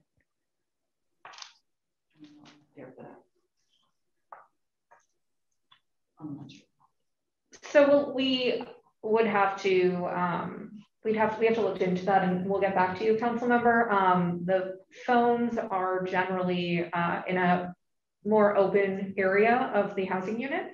Um, but I can't speak to any sort of individual, um, case where somebody may request an opportunity to have a little more privacy, uh, but we can certainly uh, speak and, and talk to some of the program counselors at RMSC and get back to you. So someone's making an allegation that is an incredibly intense, traumatic allegation. I mean, you heard the the passion in Chair Diaz's voice. And you're you're saying that in order for that person to handle that trauma, they're not given any privacy to talk to a therapist or they're they're not given any space to figure out how to handle it um, with an advocate. I mean, this is some pretty basic stuff that we talk about all the time um, with DV or or sexual assault, sexual abuse uh, with the NYPD. Just the absolute critical importance of putting folks in touch with somebody who knows how to uh, you know speak with someone in a in a meaningful way. So so there's i mean let's just set the stage. There's no no opportunity for that. And and that's okay. That's the answer then maybe we need to make that happen but i just want to know what the answer is. If I may, I'm sorry, uh, good morning, and if I'm understanding your correct, your question correctly, if, uh, an individual, if a woman is asking, uh, to speak to someone in a private manner in regards to this serious type of allegation, we do afford them the opportunity to speak to somebody in social services in order for them to speak to a counselor and give them that opportunity to be in a safe, private space. So that is Sure, afforded. But I'm asking about an advocate at Safe Horizon, right? So this is a thoroughly vetted nonprofit that you all have contracts with. I'm, I'm wondering, so if somebody uh, could, could speak with them. even if the uh, regard, uh, the uh, request was made to speak to somebody at Safe Horizon, we would make sure that that individual is given the uh, opportunity to do so in a private area. Oh, so you're saying that everyone who makes an allegation, they get the material from you and then they can say, I would like to speak with an advocate. They do I'm have that so opportunity. curious, how many people who make allegations take you up on that offer? I don't have those numbers. Does anyone?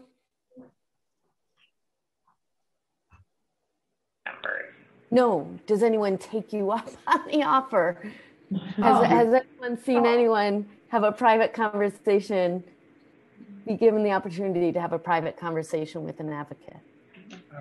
Oh, excuse me, this is Dr. Vessel. May I step in for a moment? Please. Hi. Um, so I, I can't speak to Safe Horizon, but I can say that we do get a fair amount of our referrals um, from mental health. Um, so patients might not call on the phone or speak with um, or speak with an outside agency, but I would say it's fairly common for a patient to speak with their mental health provider and disclose it to them, and then they'll share it with us. Yeah, I'm not talking about a mental health provider. I'm talking Yeah. about an advocate at Safe Horizons. And I'm Really sorry, uh, apples this, and this is, Doc- this is, uh, I'm sorry, it's, uh, Dr. Rosner. Um. Correctional Services, um, also has a, a sexual assault, uh, and abuse advocacy program, SAA, which, um, has counselors, uh, who meet with anyone, um, uh, who reports through the health services. uh, and uh, also helps connect with uh, resources in the community. Private? Pri- pri- I mean, the, the SAA team are a group of advocates um, who work with correctional health, and then they have community partners as well. And do they the meet that- privately with Yes, the? yes. Uh-huh. Yes. How many, how many meetings? How, can you help correlate the number of meetings, of those meetings to the number of uh, assault allegations? We can get the numbers for the sexual assault advocacy program and, and provide the number of visits to you. Yeah, but I will say, we also, when we see patients in clinic after making an allegation, we refer all patients to SAA. Additionally, they're proactive, so they look through the medical charts, anyone that's reported anything to us, they'll actually schedule a time to meet with them privately. So I'm hearing from people in the system or who are very familiar with people in the system. As I say, I'm not there. You're there every day. So I'm counting on others for facts that um, that in fact the calls are not are not private. They have to talk on the phones in their unit. Um, that they're not taken to a social service area when requested, um, and that mental health on average is on a 28 day schedule. Councilmember Rosenthal, And so even after an assault, um, they might not see someone for 28 days. Councilmember Rosenthal, if I may. Um, if in fact someone does want to, to see a DOC counselor, they can request to do so. Um, and, a, and a DOC counselor can assist them with making a phone call in a private setting if that is needed, if that is requested. And, and just on the mental health side of things, um, whenever an allegation is brought to the health services, uh, patients are seen uh, as a stat referral, meaning uh, the mental health service offers counseling immediately. Yeah. Yeah, no, I know what stat means. I'm looking at a 28 day schedule. So the 28 day number, I think, probably comes from some of the routine mental health services, but that's Mm. very different than counseling after an allegation. That's very different. Yeah.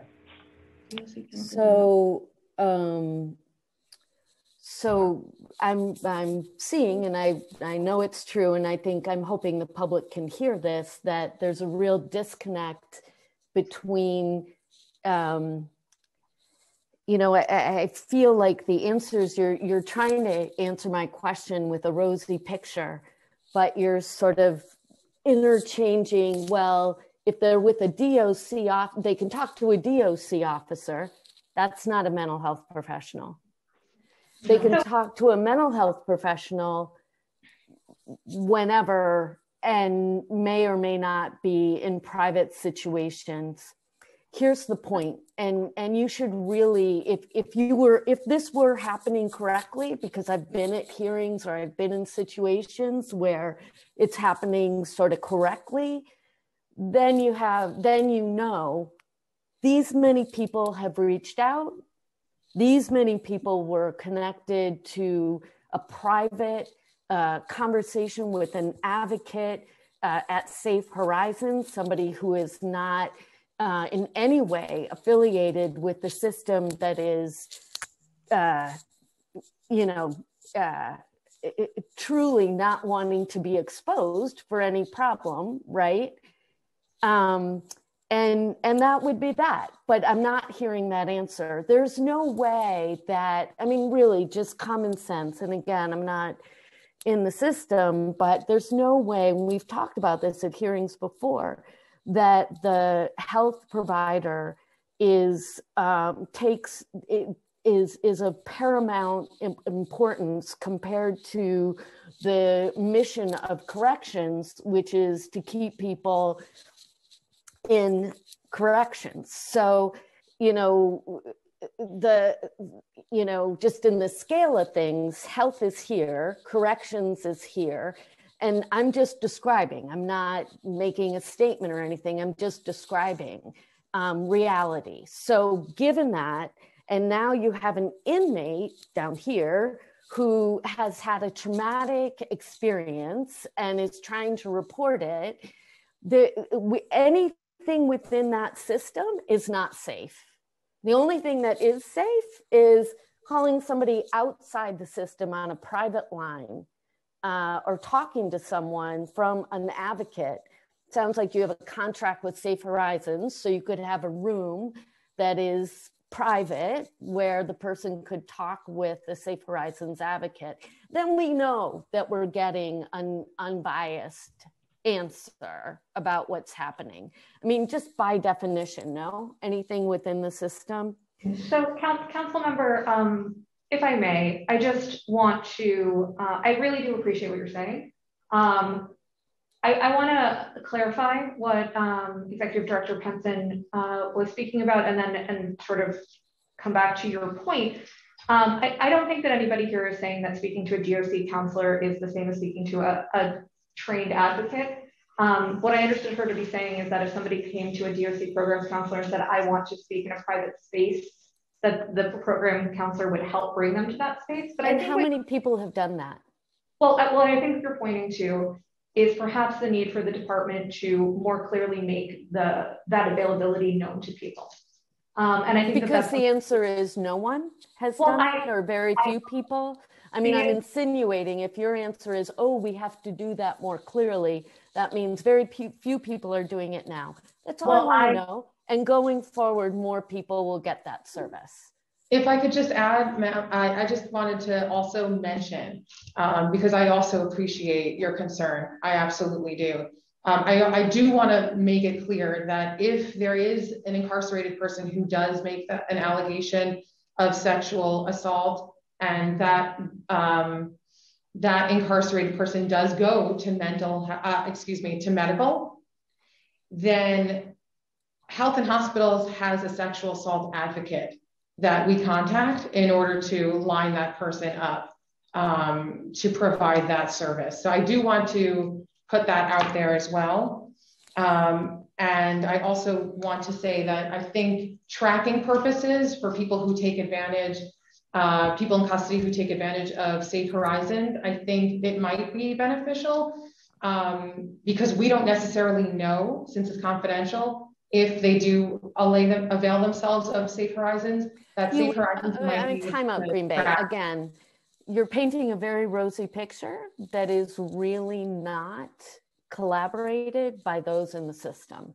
So just, I want to make that clear to the public that I'm being flooded with texts saying this is just flat out not true. Um, and I mean, saying that you could never know the number because of privacy, of course you could know the aggregate number. I mean, don't let's let's not you know. No, they're not required to tell us that. So say for you could know over the past year, we've gotten 10 private conversations. Anyway, um, let me ask you what languages, if people, when you start to this new service of giving people an opportunity to talk with um, a Safe Horizons uh, counselor, what languages would you put that information in? The 10, um, we have a language access uh, plan and policy that we're developing. And so uh, at this time, uh, I believe it's Moya, requires that any important regular announcements be put in 10 different languages, and I would have to provide the list to you later of what those 10 are. I can't remember them all. Um, so we adhere to the language access uh, plan. If someone were to claim they they had been raped within the last 24 hours, how quickly do they get to a hospital for a rape kit? Hi, this is Dr. Vessel. Um, they would they would be evaluated by our medical service and they would go immediately. How many times have has that been has, has that happened in each calendar year? I would have to get exact numbers for you. Um, if I'm and that could include back, obviously both, uh, you know, in, in, whoever the perpetrator is. Yeah, I'm, I'm happy to get those numbers for you. I don't, want to, I, don't want, I don't want to misspeak. That's okay. I, I, rounding is fine by me. Sure. So just off the top of my head. Oh no, I would I would say off the top of my head we probably have it probably happens maybe once a year. Once a year. somebody comes forward, says they've been raped, and you send them off for a rape kit. And just to clarify, that specifically for the women within the women's facility. Um, the, Yeah. the numbers for the system as a whole may be di- are, are certainly different. Yeah. How often does anybody in the system go to get a rape kit? Um, so each person who, who makes an allegation is seen by the medical service, and so we, you know, ask them the nature of what occurred, and if there was any, um, if there was, if it was appropriate, such as there was any physical penetration, then the person would go to the emergency room to get a rape kit. And about how many have done so? In the, in the whole system, we'll have to get you that number, uh, in follow-up. But like, but like I said, regarding for Rose M. Singer, it's on the order of one to two, you know, a, a year. We, One we to see two a everybody. year. And for those them- cases that go to get a rape kit, how, how many come back positive that they've been raped?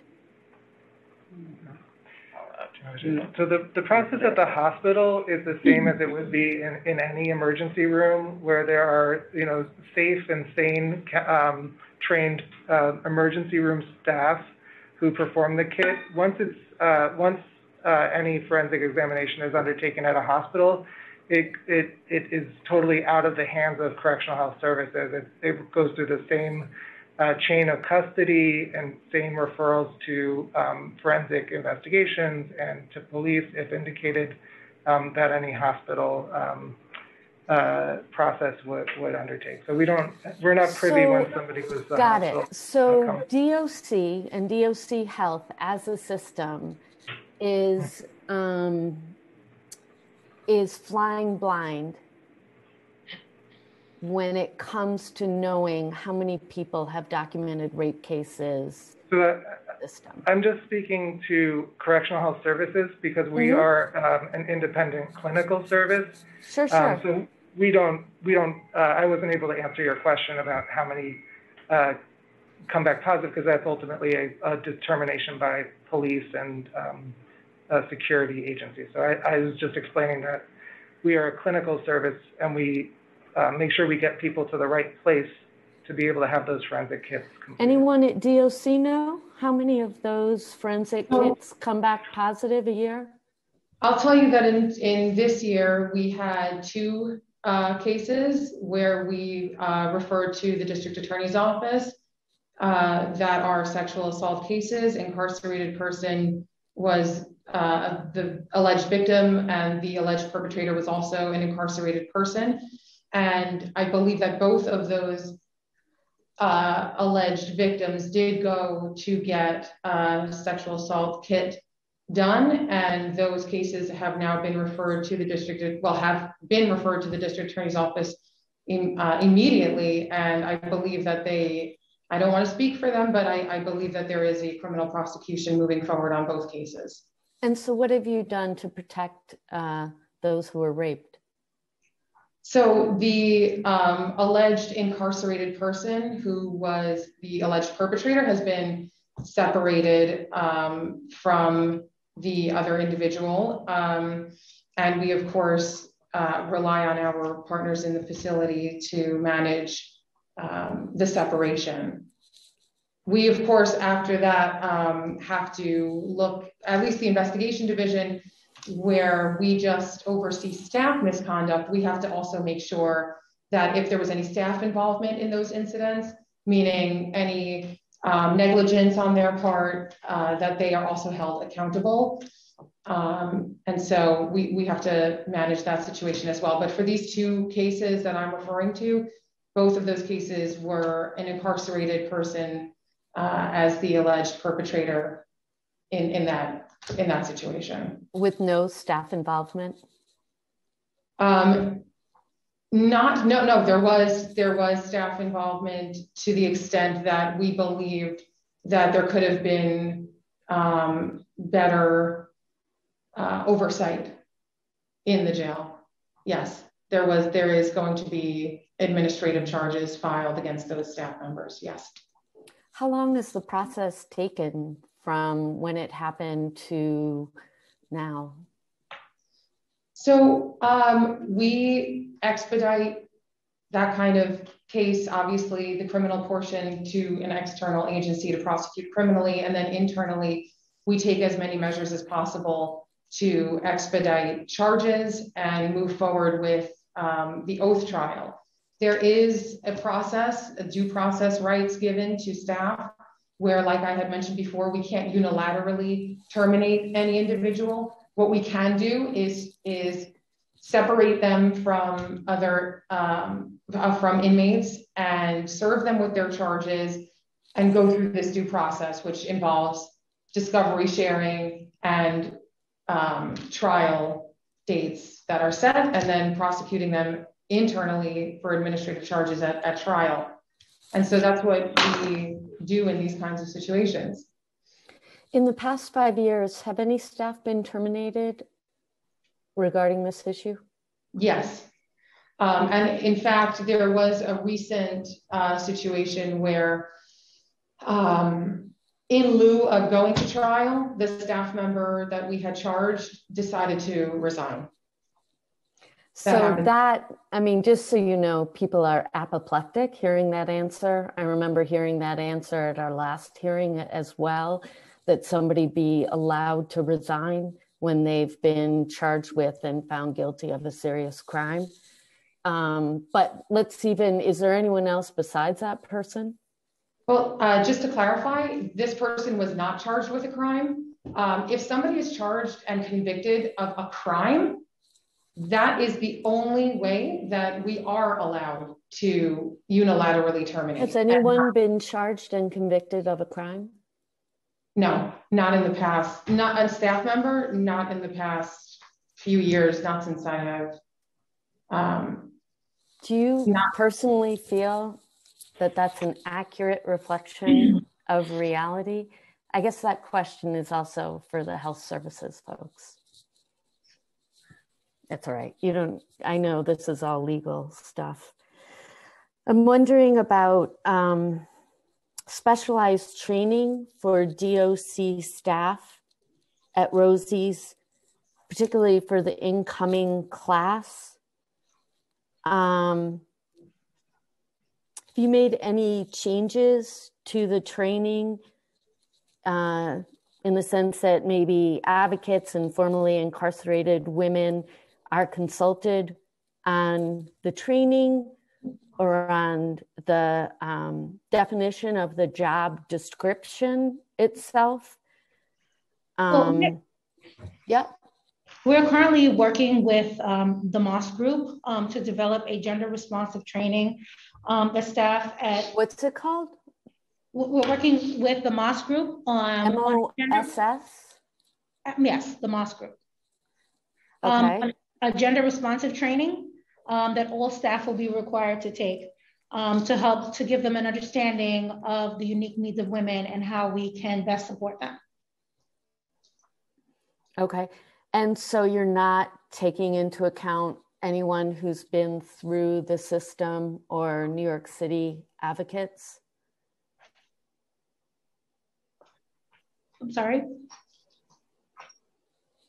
I'm just looking at the Moss group um, online, just doing a quick search. And what I'm asking is have you considered or will there be any uh, New York City advocates or uh, people who have been incarcerated at Rosie's to be part of that training?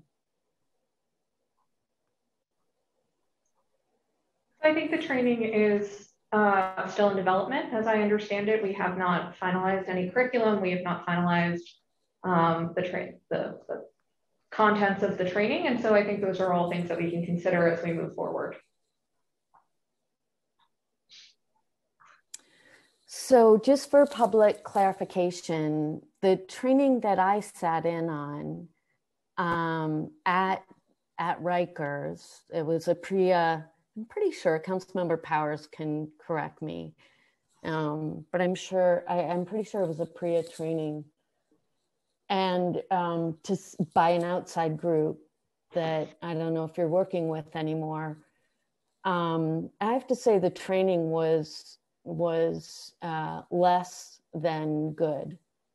Um, and could have really benefited from somebody with experience in the New York City jail system. Um, so, what criteria did you use to choose this group? So, the Moss group um, was actually um, influential in the creation of the PREA standards themselves. Do they know anything about the New York City jail system? They do. They work. They work closely with the department, and they so, work. So you've hired them before. We've worked with them before, and they, as I mentioned, uh, were were influential in the creation of the federal PREA standards. And so, how long have you worked with them? So this isn't a new contract. This is the usual contract you have. So I, I certainly cannot speak to that. Um, we can we can follow up with more information about the duration of this contract or the specific. Have they ever given the PREA training at Riker at any DOC facility before? I'm sorry. Have they given a PREA training at any Rikers facility? Uh, well, our our trainers provide the training. I'm sorry. I don't know if anyone else is having trouble following the answers. Um, I feel like it, they're very fluid. Um, I, I'm just asking you. You, you, you uh, I don't know how to say this more clearly. Have you hired this consultant before or no? We've worked with this consultant over, uh, I believe, several years on a variety of projects. Have have they been projects other than PREA? Again, I'm not able to speak to that, um, but I'm happy to. We can follow up with additional information offline. Have these trainers ever met with people formerly incarcerated, um, people at DOC? Yes or no? So again, I, I the, the Moss Group are, are national experts in PREA. They have been to this facility. They have spoken. So the answer is no. So no. they've never met privately. Let's just be clear. I, I, I hear the rosy answers you're giving, but but just to be clear, and I'll say it to the public, and you can tell me it's true or not true. The the group that DOC has hired to do the PREA training has never met privately with any advocates or people who have been through the DOC system. No, they they have absolutely spoken to people in custody. They speak to people in custody all of the time. Privately? I I can't speak to. Do you understand the importance of the difference between privately and just sort of when everyone else is around? So um, they speak. So they, they speak to they speak to people in custody when they do audits. They speak to people in custody. They speak to our staff. They've trained our staff. They have met with advocates. They're nationally known. And they are nationally known for their work and, and being experts in this particular area. Have they ever been, have those individuals ever been directly impacted by a DOC experience? They, they speak to people who are currently in our custody. So I would say the answer to that is yes. Have they ever spoken with them privately?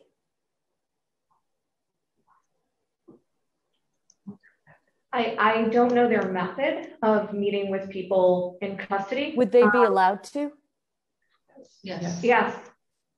Have you ever offered them that opportunity? Yes, they have done it. They, they have done that, yes. Now they've done it. Okay, so they have met privately or they have Okay, so I, I see other people shaking their head too. So I'm not the only one confused. Um, I think, yeah, I think, uh, yeah, you would have to document that in some way. Um, is is Moss Group here to answer questions, given that they're the PREA consultants and they're the that's the topic of the hearing?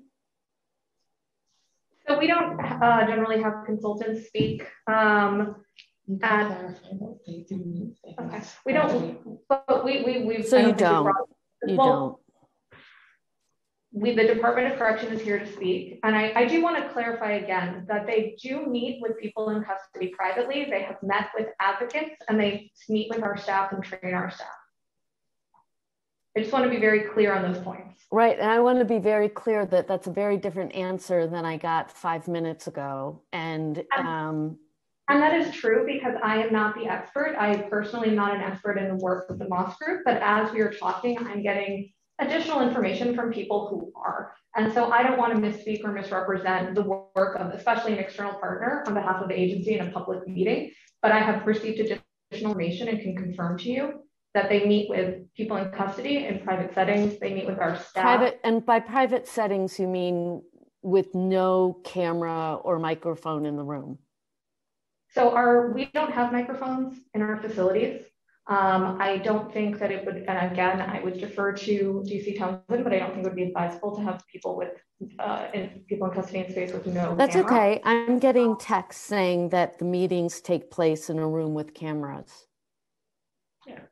For, and that is, you know, certainly for the safety of, of people in custody as well.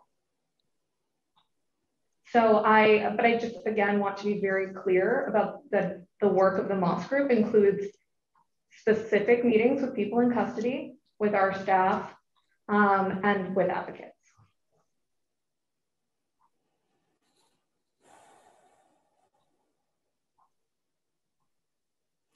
I'm seeing here that um, clergy are allowed to do follow up, but clergy are not, that they don't for people who uh, say they've been sexually assaulted or harassed. Do, do you have a sense of how often clergy meet with people and are they allowed to do so in private? So our, we actually have a um, chaplaincy hotline that we created during the course of the pandemic. So people in custody have access to clergy um, through that hotline at any time during out of cell time. Uh, so any, any of those 14 hours. Um, I, they, people have the opportunity to follow up with their clergy member at their discretion. So just starting this year, never before, but during COVID. Previously, clergy um, would have the opportunity to uh, round. Um, they would have the opportunity to, people would have more direct access, but we created this online. And it's something that will, con- that I, I, we're considering continuing um, because it's been useful. Got it. And so, um, how many of those calls can be made in private to a hotline? So um, those those calls are made through the uh, telephones that are available in the day room um, or available to people in custody in in their housing unit. so none. Unless there is a specific request to make that um, that call in a private area. So that would all, all already draw attention to that person if they were to say, I want to make a call in private. How many people make calls in private? That's, uh, I don't think that's any number that we would have right now. Um, I'm not sure that that's something that we track. It's not. Mm-hmm. Do any? It's, it's not something that we track. Can you think of one?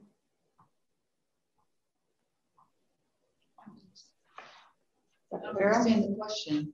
Um, has anybody It's asked okay. to use policy hotline in a private setting? That's okay. I'm just, I'm. My knowledge, no, we um, but they're afforded the opportunity to make a, a call in private. Mm-hmm. Okay. Um, I'm reading, I'm getting a note here that um, in 2019, the Bronx DA said 60% of all the 2018 uh, cases made against were made against officers. These are PREA cases. Um, and so that's in the Bronx. Um, but the Manhattan DA says for 2018, there were none. Do you think there are differences in how DAs um, take the information that they're given when you look at boroughs, when you look at the system borough by borough?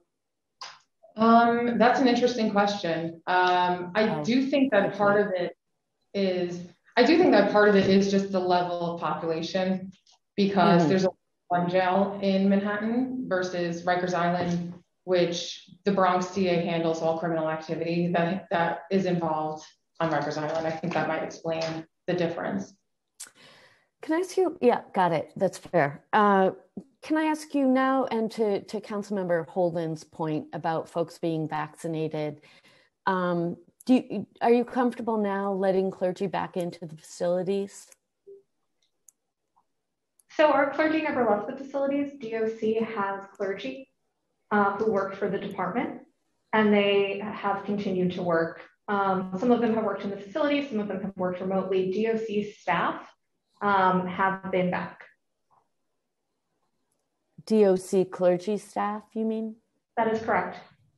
So all clergy are back in the facilities? So um, many of our clergy have been in the facilities. Um, some individuals may have, you know, some sort of additional medical need that has prevented them from coming back, but our clergy are working in the facilities. Okay, just as an FYI, I'm I'm getting a lot of texts about the importance of clergy, um, and uh, um, uh, and that actually access to them is quite limited. Um, so if you could take that back and sort of think about it um, and get back. All right, I I'm sorry. gonna. I'm sorry. This is De- uh, this is De Rivera. In Hi. reference to the clergy, uh, the clergy they do make tours um, within the facility. The uh, being with the with the COVID, we can't hold congregate services, but they do conduct tours within the housing areas to offer the women support and to um, inquire if they need any type of services. Even now, during the time of Ramadan, which we recognize, we are holding Ramadan services, and the imam is reporting to the facility. So we are offering um, clergy services in that aspect. We just can't hold congregate services at this time. Mm-hmm. So just so you know, I'm hearing from people who are, you know, affiliated with this with people who are in the system that yeah. there's not it's not as rosy as the picture you're painting, and that okay. people would like more access to clergy. Listen, I'm gonna um, I'm gonna leave it here. I think the biggest takeaway for me was the importance um, for your uh, um, folks who do training to have private access to people affiliated with the DOC system, either as advocates or former uh, in, incarcerated people, um, for for them to to actually have private meetings because you know the general PREA training is not um, being uh, um, is not enough for folks who are in the DOC system that they really need um, to to to understand the ins and outs of New York City system. So that's the biggest takeaway I get from that. And I appreciate that you're open to working on all this legislation. Um, and I look forward to doing so with you. Thank you. Thank you. Thank you. And appreciation to the chairs for the extended time. I know it was ridiculous. So thank you. Councilman Rosenthal. Um, seeing no other council members with their hands up, we are returning to Chair Diaz for additional questions before proceeding to public testimony. Chair Diaz. Thank you. I want to first commend my council member, friend, and colleague, Rosenthal, for the, the tough questions, the mindful questions. And I admire that steadfast communication that you have with the public today you're asking the questions that they're unable to ask.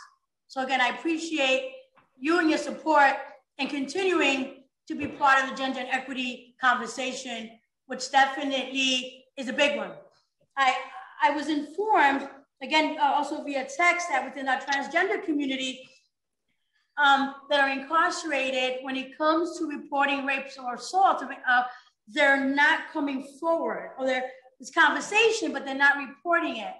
How are we providing services for, for them that are indeed sharing that they have their victims, but not comfortable in moving forward? What support systems do we have in place? And, and is that true? I, I will answer the part about the coming forward. I, will uh, defer to my colleagues about the support systems. Um, I we have had individuals um, come forward, um, and so I, I don't know that in my experience I've had I've seen a reluctance, but of course that's not necessarily a fair thing to say, right? Because I only get it, I only get the information if I get the information. So um, I will say that we have had individuals, uh, transgender individuals come forward in the past, um, but you're right, you know, if you're thinking that it's possible that people are not coming forward and I'm just not aware of it. Um, so I'll defer to my colleagues with respect to any kind of additional support that we have been able to give uh, to our uh, transgender incarcerated people. So the transgender uh, population falls into the LGBTQ spectrum.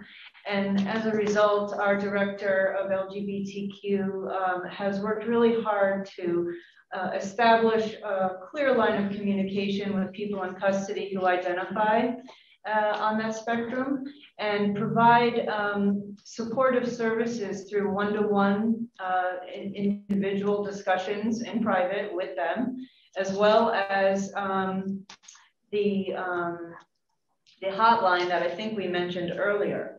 Um, we also have uh, started a new program where volunteers, uniform and non-uniform staff, um, will have an identifiable pin on their lapel uh, as somebody who is um, willing and uh, knowledgeable about their issues for them to come and speak to them. Um, so that broadens the access and availability for people to come forward and, and speak privately with somebody. Additionally, the PREA staff meet with the transgender population on a weekly basis in an effort to address any issues that arise and decrease the conflicts in the housing areas. And also, if I may add to that, if an individual doesn't feel comfortable speaking to somebody in a public setting within the housing unit, they can also message their concerns via tablet. And then that concern would be messaged out and be addressed. Thank you. My next question to you is the suicide rate. Post-COVID, pre-COVID, what do your numbers look like? If, if there is any data, I'm interested in, in hearing about it. Are you asking if about people have Rosie's? Yes.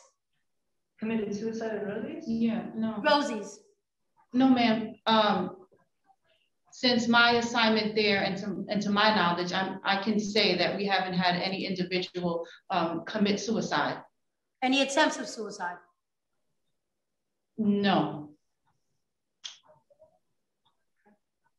What programs are offered to women or you know individuals at, at Rosie's to advance themselves while while they're there? Sure. Um, thank you for that question. So I'll start off with our Rose Petal Boutique. Um, in December 2019, we launched the Rose Petal Boutique um, at the Rose M. Singer Center. Um, the Rose Petal Boutique was developed with uh, people in custody. They helped to, um, to design the boutique. Um, the boutique is stocked with business clothing. So the, the Rose Petal Boutique is designed to prepare individuals for uh, professional development opportunities upon release from custody. So in addition to that, um, we also have our workforce development unit. Our workforce development unit provides uh, pathways to employment for individuals in DOC custody and offers classes such as cosmetology, barbering, flagging, barista, and more. I, I need to know the more. We, we can get you that. So you do cosmetology, flagging, and what was, uh, and when we say flagging, I'm thinking that's construction work? Yes. And can you tell me what is the the population? Give me a percentage that actually participates, that begins your, your programs and actually successfully completes. We can get you that number. Okay. Then I like to go back to, to mental health services. Um, Thrive NYC has a program where one can be um, first help, a first um, responder for mental health, which I used a couple of months ago. You know, drinking and drinking and driving incident. I parked in the middle of, of uh, three lanes and, and assisted someone who was intoxicated and the friend who was trying to get him from from driving. You know, the fear of, of killing people.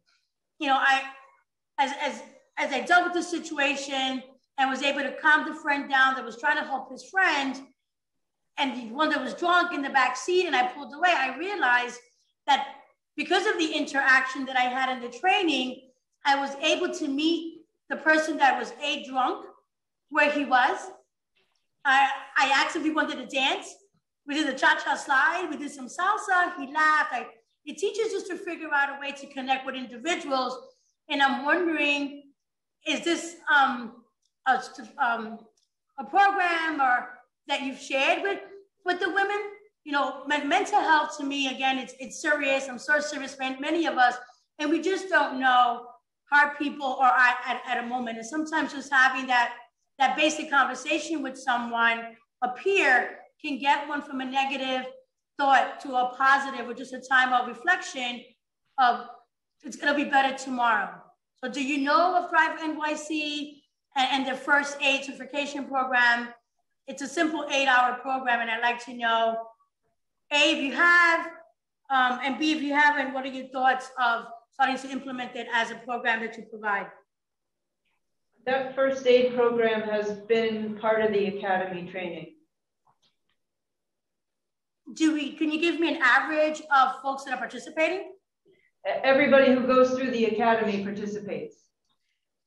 So if there's a hundred people, we now have a hundred people that are empowered so um, the department, if you if you don't mind, um, actually reports some of this information through its annual uh, trauma informed care report. Um, the most recent one was published on April 10th of this year. It's on our website, um, and uh, it appears that looking at this report right now, that almost 9,000 staff members were trained um, since 2014. It's about 8,700, uh, about 8,800. Um, in addition, uh, approximately 1,188 incarcerated individuals were also trained in the mental health first aid program. Okay. Can you share with me how many CBOs you're working with currently? CBO?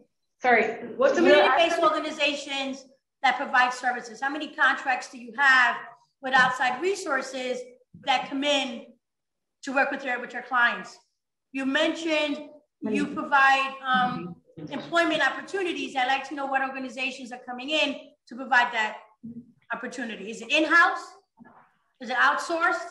So our Rose Petal Boutique is in-house, um, but we do work with some community-based organizations for both um, individuals while they're incarcerated and once they return to the community. We're working with providers such as Green Hope Services for Women, the Osborne Association, Fortune Society to provide both services in-house and once they return to the community. Okay. Next, my next question would be the line of, of housing and um, unifying families. What's your what's your process? So the Meaning, process. Do, do you do you increase visits? You know the the telecom conversations. Do you invite ACS to the conversation? Is there a mental health component when you're trying to reunite families as as a, the predominant care provi provider is going to be reunited with their families and, and their children? I think, did you want to answer that? Yeah you know, we're moving to an individualized approach to individual needs. So, you know, not to make blanket statements because, uh, you know, one size does not fit all with regard to programming or release planning. So we complete an individualized assessment upon intake. So we understand that individuals' needs and risks. And if families involved, that is absolutely going to be something that is discussed.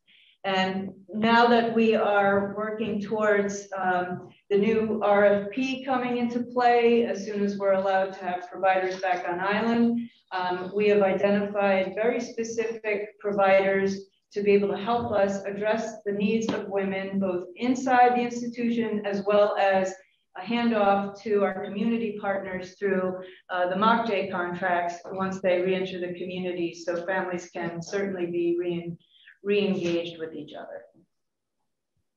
Okay. So I, I, I Darma Diaz, um, I was been incarcerated for a year. We're getting ready for, for my release. My mom has had my daughter and mom cannot take me in.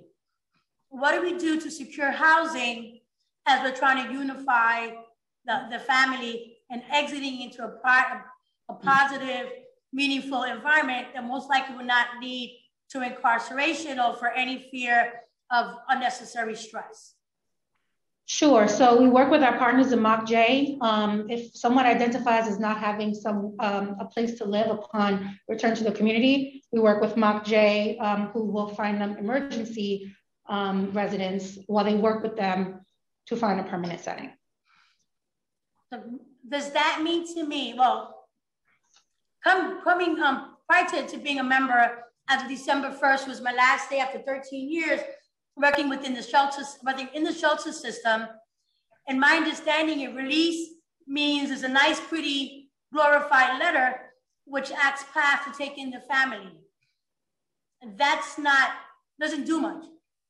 It means that you're in the system the system meaning the shelter, the DHS shelter system, anywhere between 365 days to three years. Do you have a housing component that can help individuals that know they're going to face this challenge with exiting shelter? Now, we have Housing Connect. Oh, that, that's a way out. We have housing advocates. What conversation are we truly having? Placing someone who's been confined into the shelter environment brings up displacement and hardship, not for the adult, not just for the adult, but for the child. What are your thoughts on improving your system as you're bringing in providers? Councilmember Diaz, just to clarify a couple of things. We're in the midst of a transition that you may or may not be aware of. So I am not aware. Okay. Um, we're transitioning um, the way we do business uh, with regard to uh, release planning. It used to be that the DOC had all of that contract uh, provider work on our end, on the institutional side. Um, but what happened in the last year or more now uh, is that that contract got split in half. So now the DOC is going to be responsible for in-facility programming and providing a handoff, if you will, to our community partners. So MOCJ has the other half of the equation on the community side, and I'm sure Dana Kaplan can speak to that piece of it. And so what we're talking about, we're in conversations with MOCJ regularly, and we're having conversations about having MOCJ staff, if you will, come into the jails and be that reentry uh, discharge planner um, in partnership with our DOC staff. So if I'm a counselor working in one of the housing units and I identify you as being homeless and having a child that's in somebody else's custody, um, that information would then be shared with one of these MOCJ reentry specialists who then knows that they need to pick that up and carry it through into the community with regard to housing placements. And I'll defer to Dana Kaplan to speak to how they find housing. Sure. Uh, so good afternoon, uh, members of the council, and thank you, uh, Council Member Diaz, for that question. So uh, a little bit, I think one of the things that I wanted to highlight is actually, I don't want to call anything about this pandemic a silver lining, but one of the models that we have been able to do uh, during COVID is something that I think has some really positive implications longer term, which is emergency reentry hotels. So essentially, since March of last year, uh, rather than going into the DHS system, what we have been able to provide is um, uh, a warm handoff from for anyone in DOC custody, obviously uh, women, but this is not uh, specific just to women, uh, who do not have a place to go to go to one of four hotels that are throughout the city where we have nonprofit providers on site doing case management services. Um, unfortunately, right now, we have just hit capacity at, in those hotels. So obviously this is one of the challenges.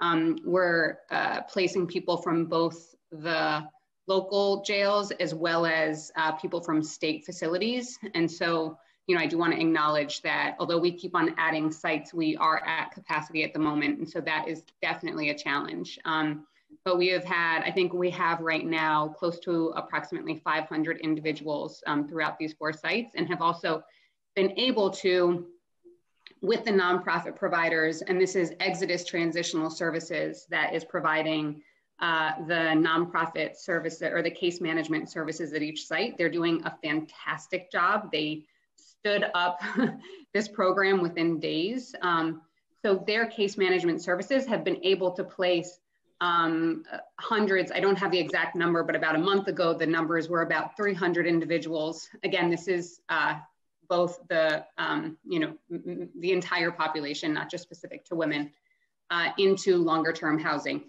There is dedicated floors within the hotels that are specific to the female population. Um, and so there are, um, you know, people on staff that are on site working specifically with women in the hotels.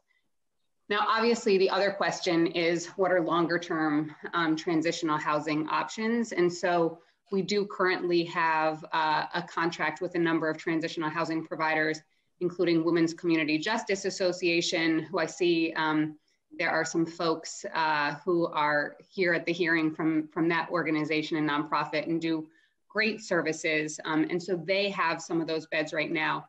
Obviously, we need to continue to expand those housing opportunities. And so there is an RFP um, for additional transitional housing beds uh, that is forthcoming shortly. Um, it's been forthcoming shortly for longer than I would like to be, to be quite honest, but it is something um, that will be going out soon. And what that will do is go from the current $5 million in funding to $12.5 million and then up to $25 million in funding for transitional housing beds and including beds for specialized populations.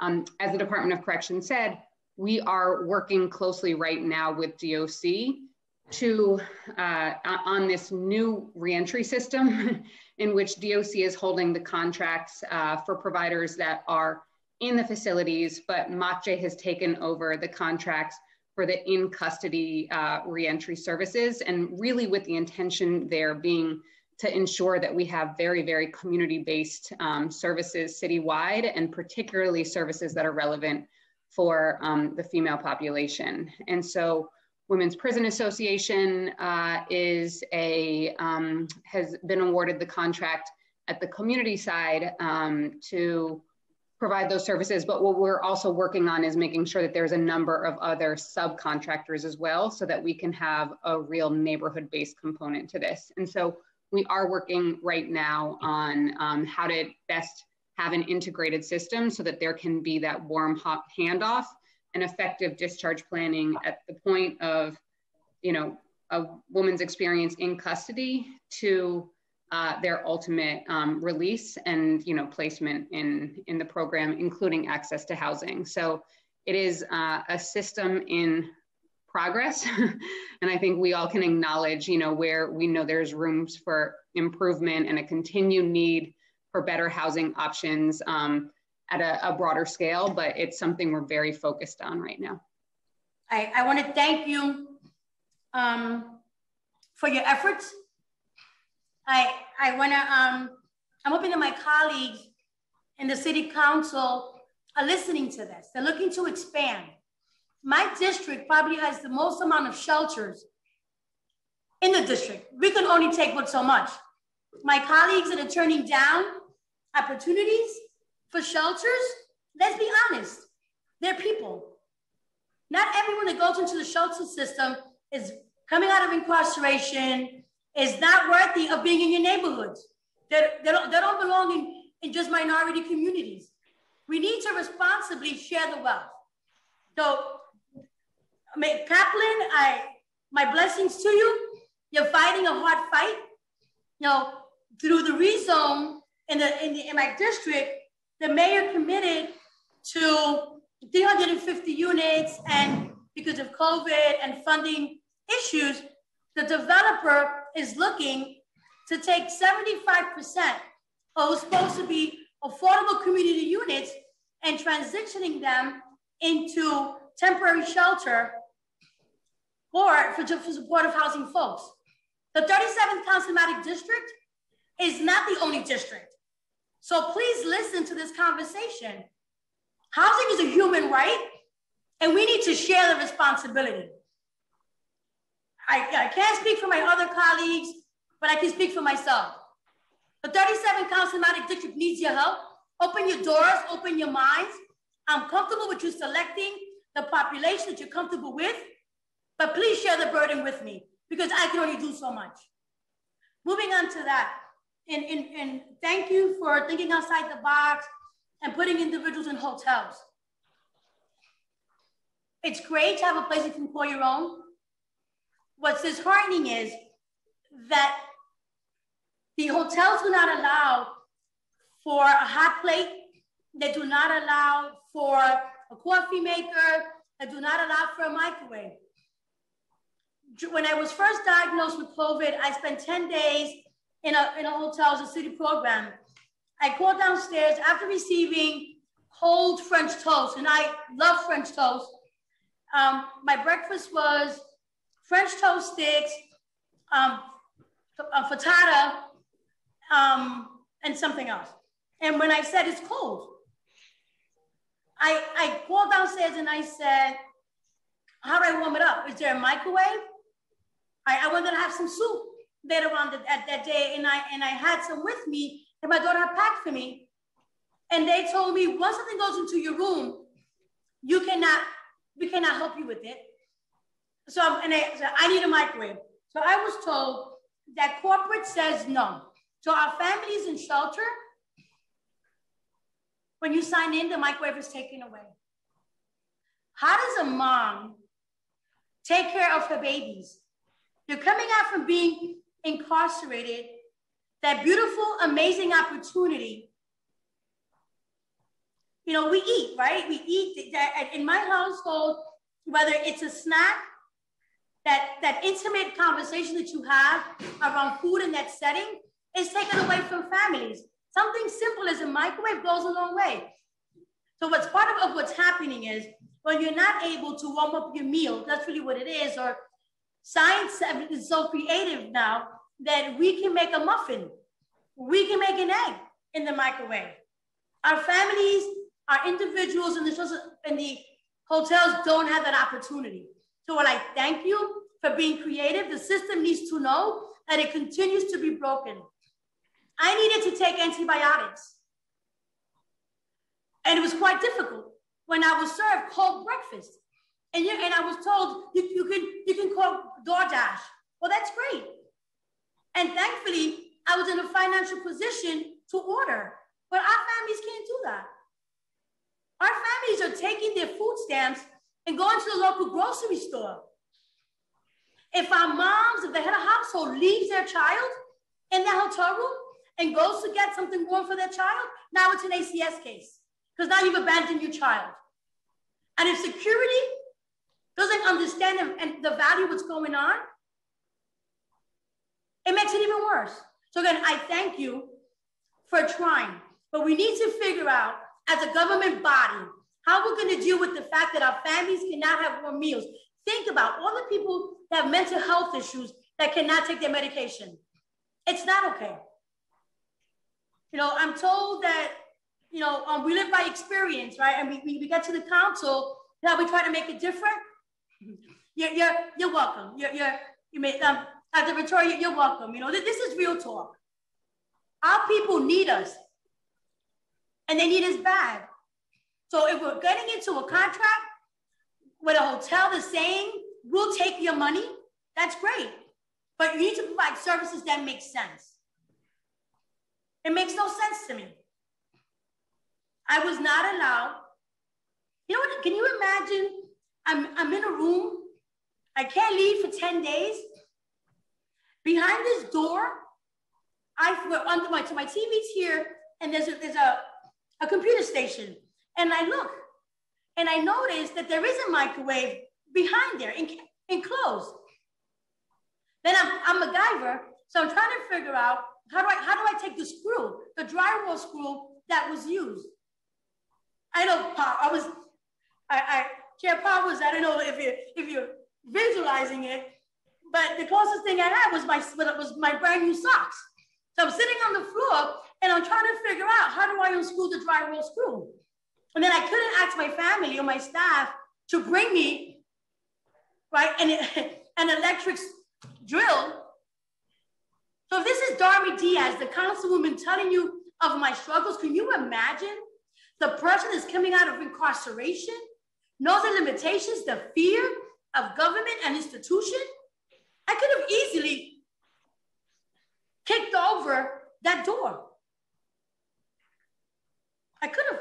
What are they gonna do? They wouldn't have known until 10 days after I left. I would have my soup.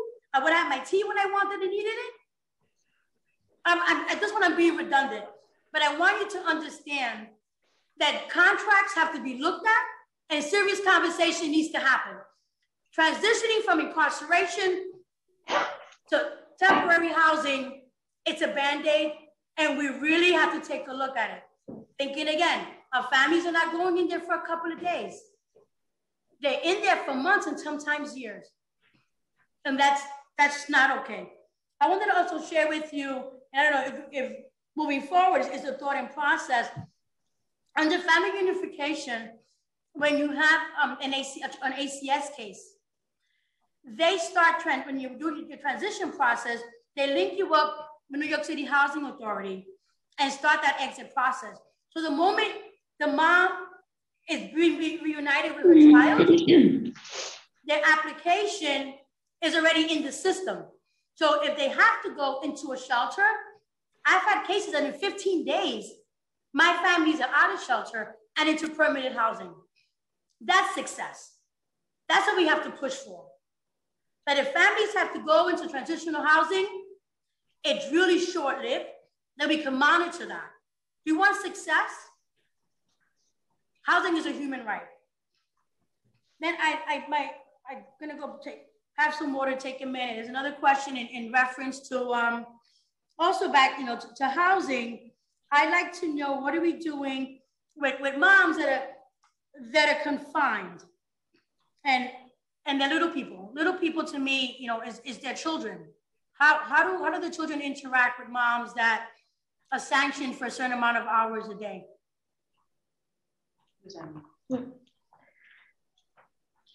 Sanctions. So Sanctioned um, we, in, we in, in, in restricted housing. I have to say, um, I currently don't have any uh, women in restrictive housing in my restrictive housing unit. Amazing. And when was the last time you did have someone? March 26th. Of 2019 or 2021? 2021. Thank you. Welcome.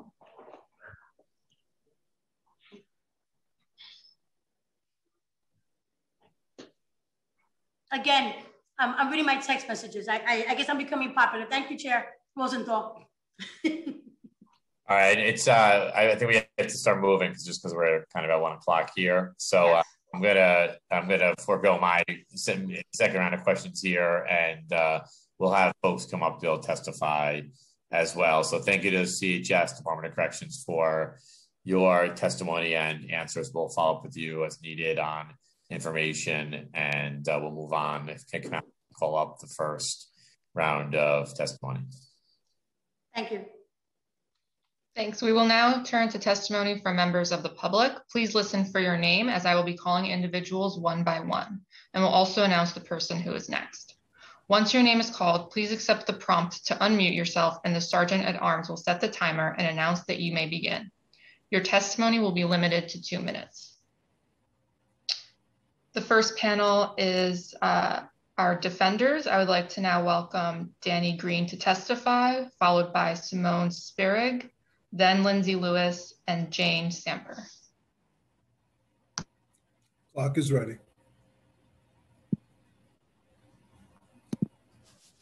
Hi, my name is Danny Green. I'm from the Bronx Defenders. I want to thank you for the opportunity to testify today. I'm from the LGBTQ Defense Project at the Bronx Defenders. I represent transgender people who are facing criminal charges, many who have been recently incarcerated or are currently incarcerated. Over the past several years, much attention has been paid to the abuse of transgender women who are incarcerated in city jails, and many improvements have been made. That being said, um, there are still a, there's still a lot of room for improvement in the DOC adopting policies that permit transgender women to be housed in female facilities and in the special consideration unit at Rose M. Singer. The Bronx Defenders LGBTQ Defense Project, as well as other advocates, have worked with many women who continue to be unsafely housed in men's jails while in custody at DOC. Because of the significant limitations on the SCU's eligibility and the lack of transparency in the acceptance process, many transgender women are housed in men's jails still. Sadly, but foreseeably, many of our clients are harassed and abused while in male facilities. I want to highlight for the committee one persistent issue um, that we've seen repeatedly lately, and that's the removal of transgender women from housing consistent with their gender identity as a form of punishment. For example, a transgender woman may be housed initially consistently with her gender identity, but when that the, the transgender woman files a complaint against another inmate, if an inmate files a complaint against her, or if a transgender woman is subject to discipline, she's regularly moved to a male facility. This often occurs prior to the initiation of investigation, which is particularly problematic considering many of the comments filed against transgender women are motivated by transphobia. We believe this policy is discriminatory, it's dangerous, and it's in violation of New York City law, as well as state and federal constitutions.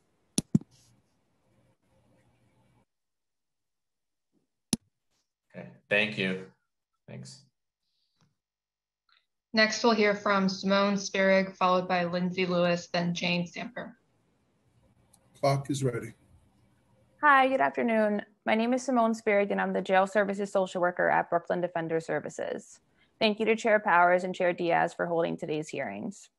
One day is all it takes to cause harm and trauma, and yet the department historically fails to understand the urgency to protect transgender women in their custody, putting lives at risk. Due to time, I want to share a story experienced by a transgender woman. This is one story, but re- it represents the many stories of how the department drags their feet to safely house transgender women in their custody. When Miss B entered custody, she immediately requested placement in the women's jail. Yet, despite her own advocacy and advocacy from our office, DOC left her in a men's jail for well over a month, where she was repeatedly threatened and sexually harassed, including by DOC staff. Eventually, PREA staff came to meet with Miss B about her placement in Rosie's, and it took at least another week for Miss B to learn of her approval for the SCU, a decision that should have been made on day one of her incarceration.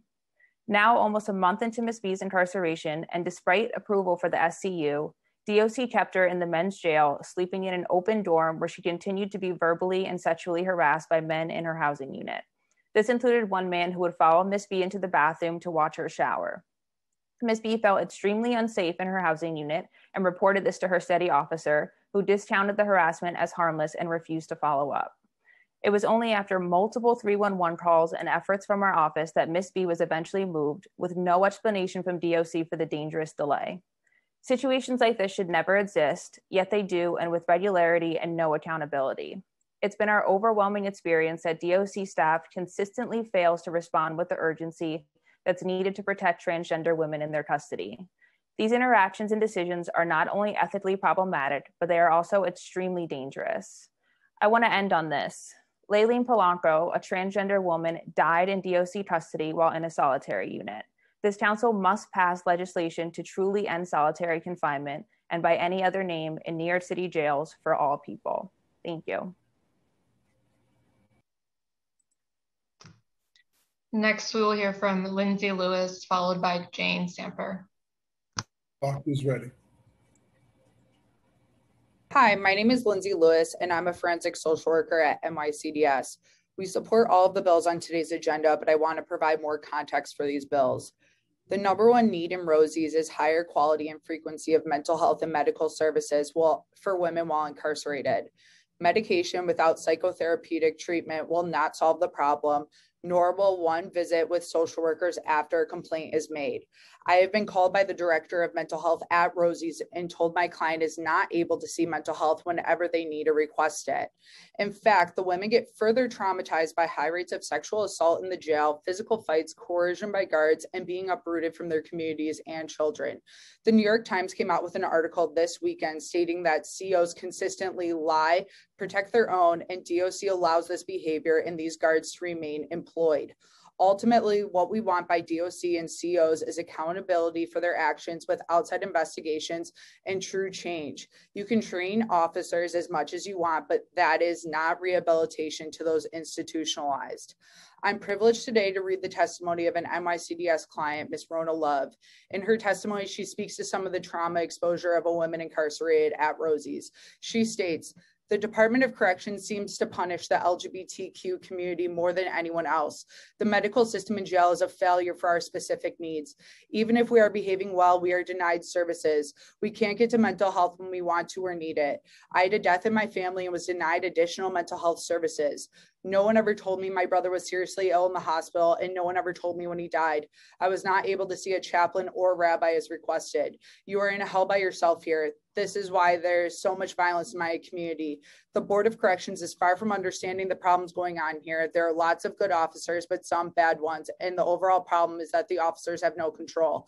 In my community, when people act out, they are shipped out. When other non LGBTQ people act out, they're not transferred to a facility with a gender they do not identify with as punishment. They just get written up. Officers will have other inmates call PREA on people in RMSC to get them removed and transferred. The trans community has tried to request investigations of officers' mis- misconduct, but we are ignored. And I can stop there, but it is in my written testimony. Thank you.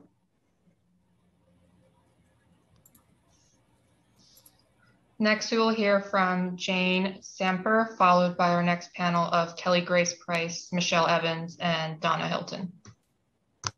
Clock is ready.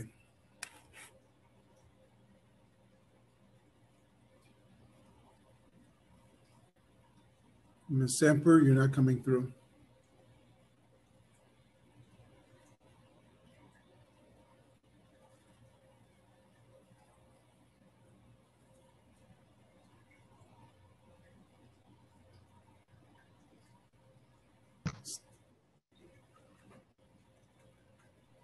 Okay, we can um, come back. Oh, there you go. We hear you now. Okay, um, great. Um, sorry about that. Um, again, my name is Jane Sampier. I'm the principal attorney and coordinator for the Legal Aid Society's Women's Pretrial Release Initiative. Uh, in this capacity, I represent women who are detained in city jails and advocate for their release and connection to community-based supportive services. To be clear, we believe the only way to protect women from the compounding trauma of incarceration is to completely limit uh, their exposure to New York City jails. Now, it's well documented that the vast majority of women who are incarcerated in city jails have experienced significant trauma prior to their incarceration. And for survivors of sexual assault, domestic violence, and other form of, forms of trauma, uh, the very nature of incarceration and routine procedures is often re traumatizing. Uh, certainly, DOC has an obligation to protect incarcerated people, not only from illicit assaults, um, and, uh, both uh, physical assaults and sexual assaults, as well as providing mental health and uh, physical health care, but they also have an obligation to refrain from practices and behaviors that exacerbate trauma um, and violence.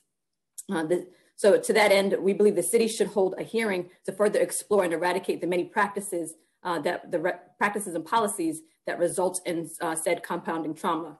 Uh, a few examples um, of these sort of practices that result in the compounding trauma are strip searches, punitive segregation, and the way uh, many lockdowns are implemented. Now, although strip searches are intended to locate hidden contraband, The practice itself is very invasive, degrading, and traumatizing to anyone that's subjected to them, but uh, especially to women who have a history of sexual abuse. Women have described this practice as triggering, dehumanizing, and terrifying. Uh, punitive segregation or placement in isolated confinement only serves to amplify the harm women experience in jails, including problems maintaining dignity and obtaining um, basic hygiene supplies, as well as access to mental health.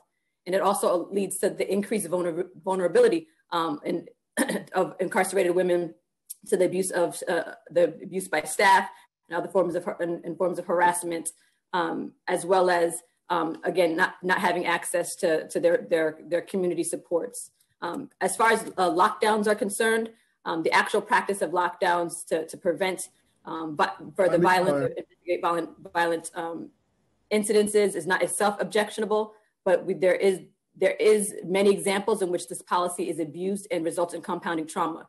So to that end, we're just requesting that, uh, that this committee convene a hearing to address the many different policies of DOC that result in additional um, harm and trauma to incarcerated women.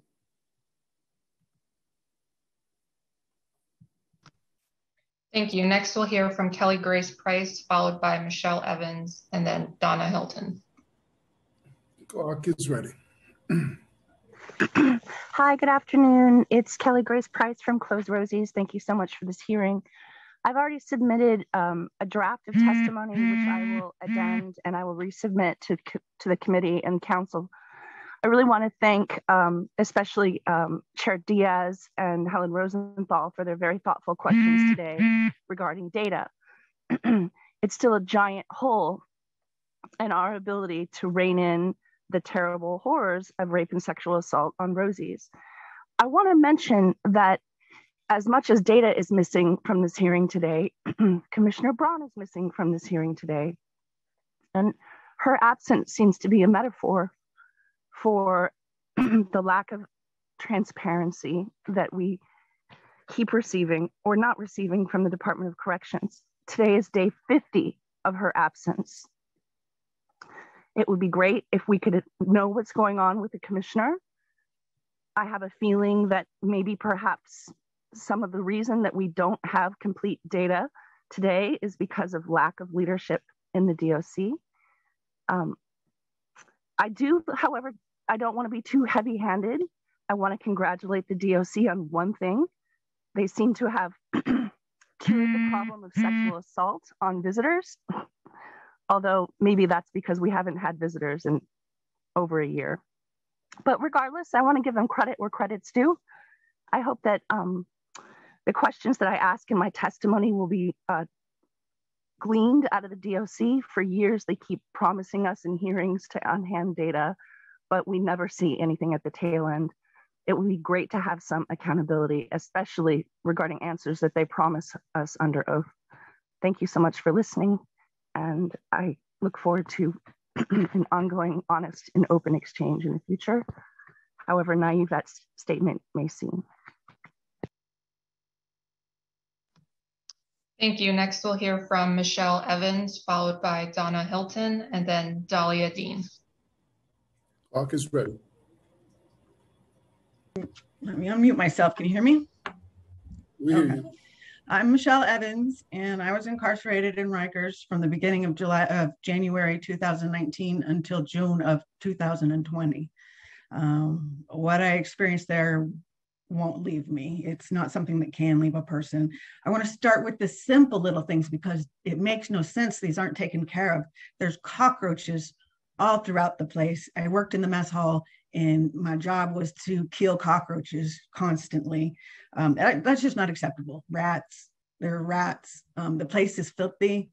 I, I really want to bring up the Supreme Court in Manhattan holding cells is extremely small. Um, they stuff about six of us in there with uh, a, a cell that's maybe the size for two, and we have to lay down on the floor and um, I had to lay down on the floor next to somebody who made me very uncomfortable.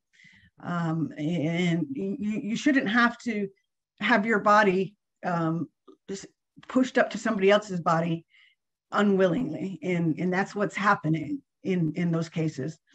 Um, that's a big problem. The um, ACS won't allow women to have their children in the maternity ward. Like I said, I worked in a mess hall, so I delivered food, and I know that in that year and a half that I was there, I can count on my hand, on my one hand, the number of times I delivered a meal to that maternity ward. Um, they're just not letting them bring their babies. Um, there's a problem with reporting anything to the police. Once you're in Rikers, they, there is absolutely no way for you to file a police report. Many women are in there because of domestic abuse, and their survival is criminalized, and they are not given an opportunity to have both sides held responsible for what's going on. Um, that that was appalling to me. Um, it looks like I'm out of time, but um, uh, I did. I'm wearing a, coat from the boutique, and I, I, would like to congratulate them for for that program because the boutique is nice, and um, there's a lot of room for us to improve there. Thank you. Next, we'll hear from Donna Hilton, followed by Dahlia Teen, and then Kristen Edwards. Clock is ready. Good afternoon, everyone. Thank you for um, uh, hearing us today. Um, I want to start by saying my name is Donna Hilton. I'm the founder and president of A Little Piece of Light. We're a 501c3 women-led organization, and we are all formerly incarcerated, directly impacted women. Our focus are women and girls, uh, trans women, and gender fluid individuals who've been impacted by abuse, trauma, violence, uh, and incarceration, and not necessarily in that order. We focus on policy and legislations, campaigns. Uh, we have some uh, support services. One of the things that we're pushing hard and we will be starting soon is housing because it continues to be a, a, a, a very important uh, necessity, unfortunately, for women and especially trans women. Um, we do not have enough housing. So thankfully, my partners here, uh, WCJA, I see Providence House and stuff, but we still don't have enough. So I just want to put that clearly out there for the council because I've been beating it with some of you all to get support as well with this issue because we can't talk about alternatives and getting women off of the island if we don't have the things that they need as uh, we've been hearing. And I just want to say 36 years ago, this month, I was detained on Rikers Island as an adolescent, and I was placed in uh, protective custody, commonly known as solitary confinement. While there for six months, there was a female captain who uh, I guess was showing a lot of favoritism towards me uh, and would visit me a lot and come talk to me, whatever. And one day I went to court. Mind you, I was an adolescent in protective custody never been arrested, never had any involvement with the system. I went to court one day and I came back and I came back and I was told that uh, I was um, in trouble. I didn't know what that trouble was. What I found out was that someone somehow had put a shank under my bed or in my bed. I don't even know. I never saw it. And I was in trouble for it because it was mine. So I found out after going through this was that the, the female captain that was uh, coming down to protective custody, solitary confinement, to see me and talk to me, had a partner, a female captain who was just turning, she had just been promoted to uh, be a de- deputy. So I found out that it was this deputy who had my room searched, and all of a sudden, and, and whoever else, I there was a shank in my room. I never could go anywhere, do anything. I was in, I was in solitary confinement. But I got in trouble for something that was placed in my room, a weapon that I asked that I was smart enough to understand because people talk and they were telling me what to do to say, produce this so I can see it. And then I wanted fingerprints tested because I know I've never, t- I've, I've, I didn't even have a book in that room. So there was no way that I had something like that. I've never, I never saw anything like that. And I was an adolescent at this time. So when I heard testimony from docs today and others, what amazed me was nothing has changed. The only thing has changed is how they they they um, acknowledge things and how they they term things. Right? Yesterday I said the same thing. Vocabulary is all that's changed. Absolutely nothing has changed. What I continue uh, to hear are lies. We are not involved in any part of this. None of us that have been impacted, none of us that are doing this work, our friends, families of impacted people, I don't see us where we are in this conversation doing any of the work that's necessary. There was a PREA Act that was created. I don't understand how the state has a better way of running it than DOCS has a way of doing it. I, that doesn't make sense to me.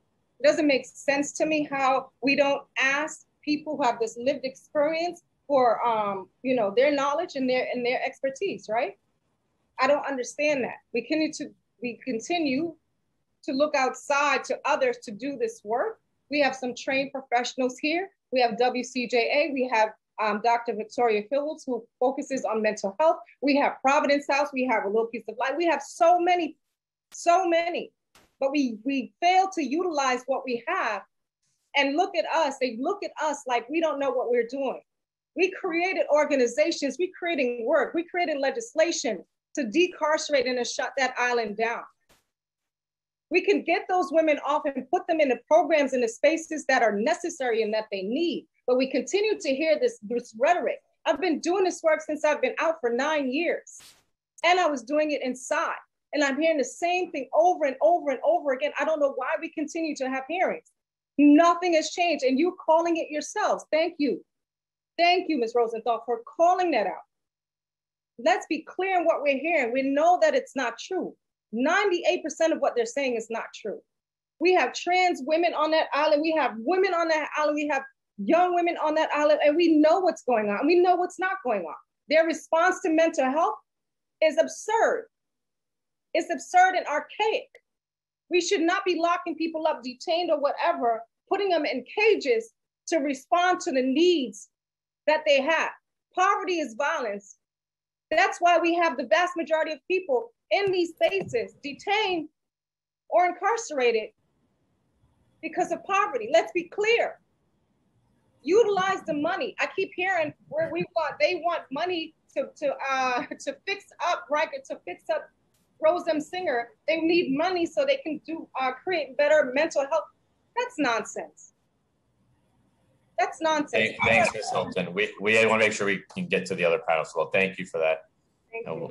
Thanks. Thank you. Next, we will hear from Dahlia Teen, followed by Kristen Edwards, followed by Elise Benusa. Clock is ready. Hi, yes, my name is Dahlia Teen. I'm from the Osborne Association. Thank you for the opportunity to be able to present today. I am part of the program, the Visiting and Family Assistant Program that DOC has mentioned, and I run the video visiting program for Osborne. We want to draw attention not just to the women who are currently incarcerated at Rosie's, but for the thousands of women in the community that are affected by this. Though we know that many women are. Your audio is breaking up a lot. Maybe if you can cut off your video. Maybe we'll do better. It's mostly women that are making up visiting on the We're, island, um, I'm sorry, Over Doc. years since they have been able to come into a visit. DOCCS has been able to open up state visiting. They've been transparent about that plan, but we're not receiving that from DOC. DOC is saying that they're. Sure. Can I use my cell phone? Because I'm on my cell phone now. Is there a way to unmute me?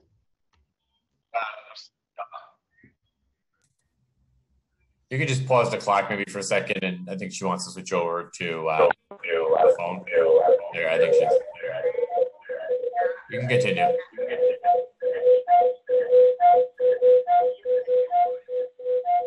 Yeah, I'm sorry. I we can't hear you, so let's. Um, The host would like you to unmute your.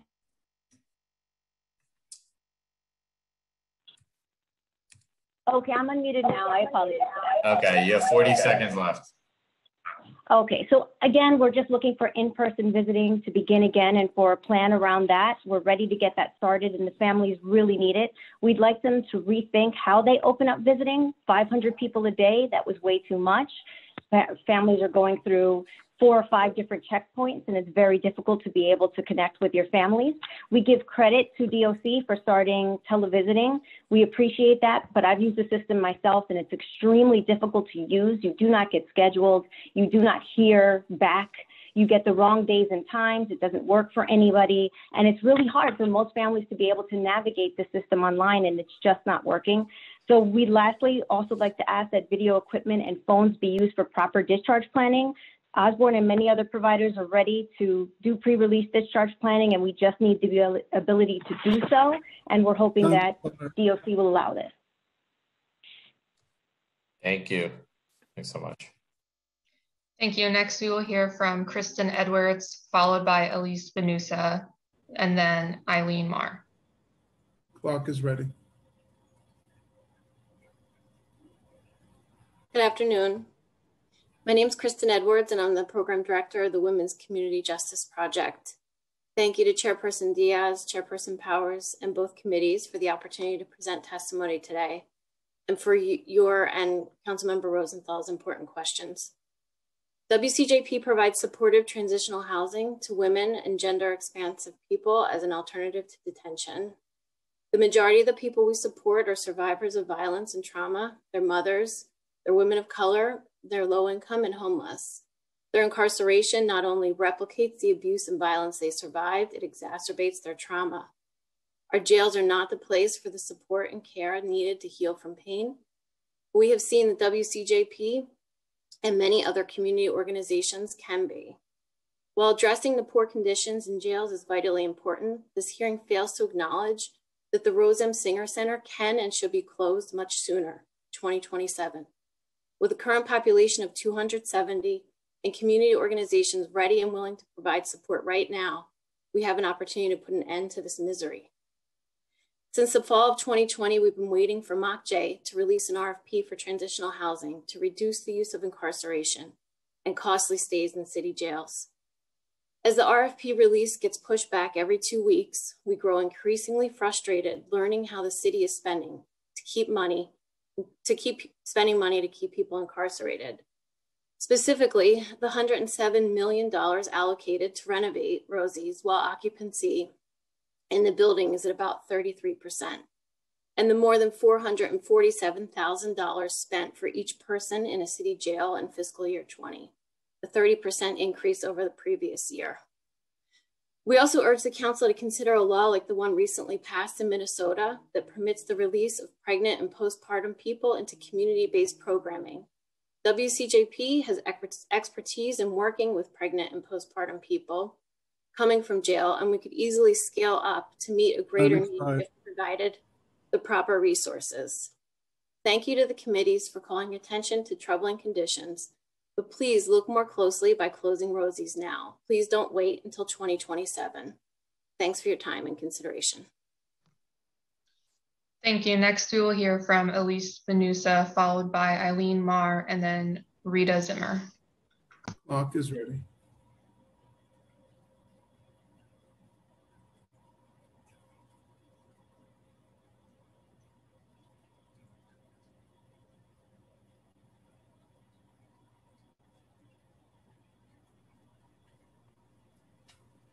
Good afternoon. My name is Elise Benusa, and I work at Planned Parenthood of Greater New York for the Government Relations Team.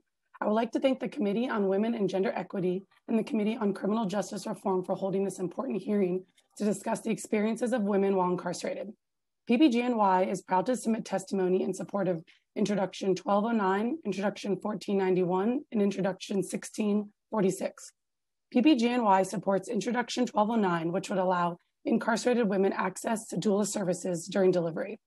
Doulas give emotional and physical support to mothers during delivery and translate gynecological knowledge throughout their birthing journey. Every person has a right to give birth with dignity in a safe and supportive environment of their choosing. This bill will support the already incredible work of Ancient Song Doula Services, who are giving prenatal care to incarcerated women. Currently, these services currently these services provide prenatal consultation, childbirth education, nutritional support, and pain management. This law would allow for doula support to carry into the delivery process, which is important for continuity of care. Having an advocate during delivery is especially imperative for women who are in Department of Corrections custody to ensure the needs of mothers are being met and acknowledged. Enacting more visibility into the delivery room will be beneficial for mothers who are experiencing childbirth under the traumatic and stressful conditions of incarceration. PPGNY fully supports this amendment to create a safer space for mothers to deliver their babies. PPGNY supports Introduction 1491, which would require the Commissioner of Corrections to create a comprehensive training program to investigate sexual crimes. The training curriculum must be patient centered, inclusive, trauma informed, and culturally competent. The content should also include referral information on organizations that can provide affordable, quality medical and social services. It is, a, it is critical for investigators to build and sustain partnerships with these organizations in order to provide a holistic range of services for survivors. This program must be part of a comprehensive and coordinated community response to ensure that survivors are not further traumatized during the investigation and to reduce the risk of poor health outcomes that could potentially result from or worsen by violence. Lastly, I just want to say PPGNY recognizes the significance of increasing visibility into the operations at DOC in an effort to shed light on the safety and health care of those in custody. We're thankful for this opportunity to advocate for women's health and we will continue to work with the committee to protect people's well-being within DOC. Thank you to the committee for all these important measures being taken, taken to increase access to reproductive health. Thank you. Next, we'll hear from Eileen Marr, followed by Rita Zimmer, and then Helen Skipper. Clock is ready.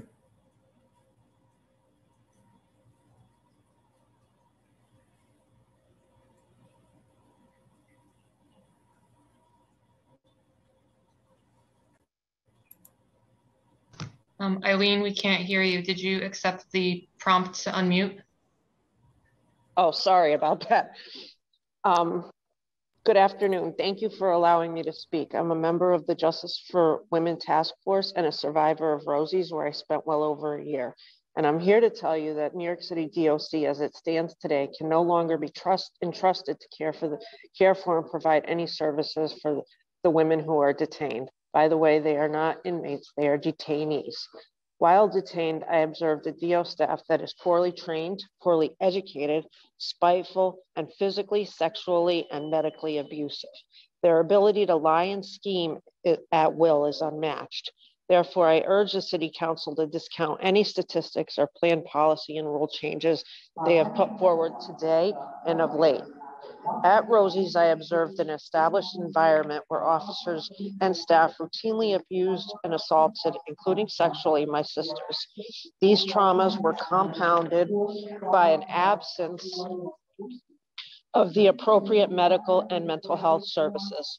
I had to routinely call and write the Prisoners' Rights Project at the Legal Aid Society to receive adequate mental and medical health this uh, services. This compounds the traumas experienced pre-incarceration, such as long-term abuse, poverty, poor health, drug and alcohol abuse, and as in my own situation, domestic violence. Then you have the then you have the uh, then they have the audacity to act surprised at the recidivism rates. Until all the women can be and gender expansive women can be decarcerated, I believe that in order to remedy these inhumane conditions, New York City should adopt its own version of the Camden experiment.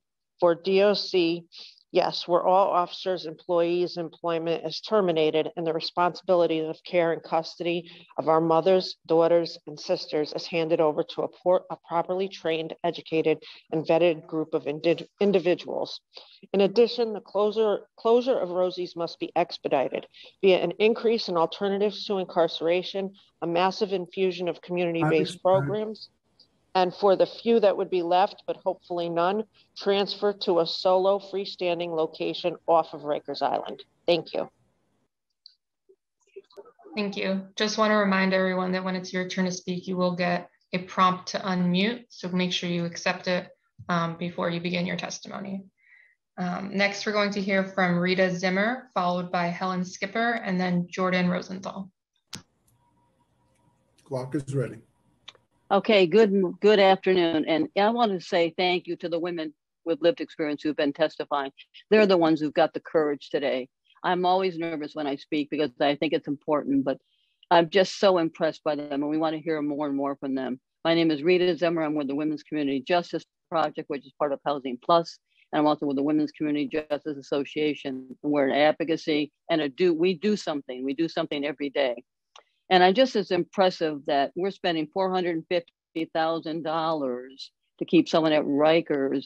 That's thirty-six thousand dollars a month. For thirty thousand dollars a year, we bring a woman out of Rikers, put her in transitional housing, help her find permanent housing, and help her get the services she needs.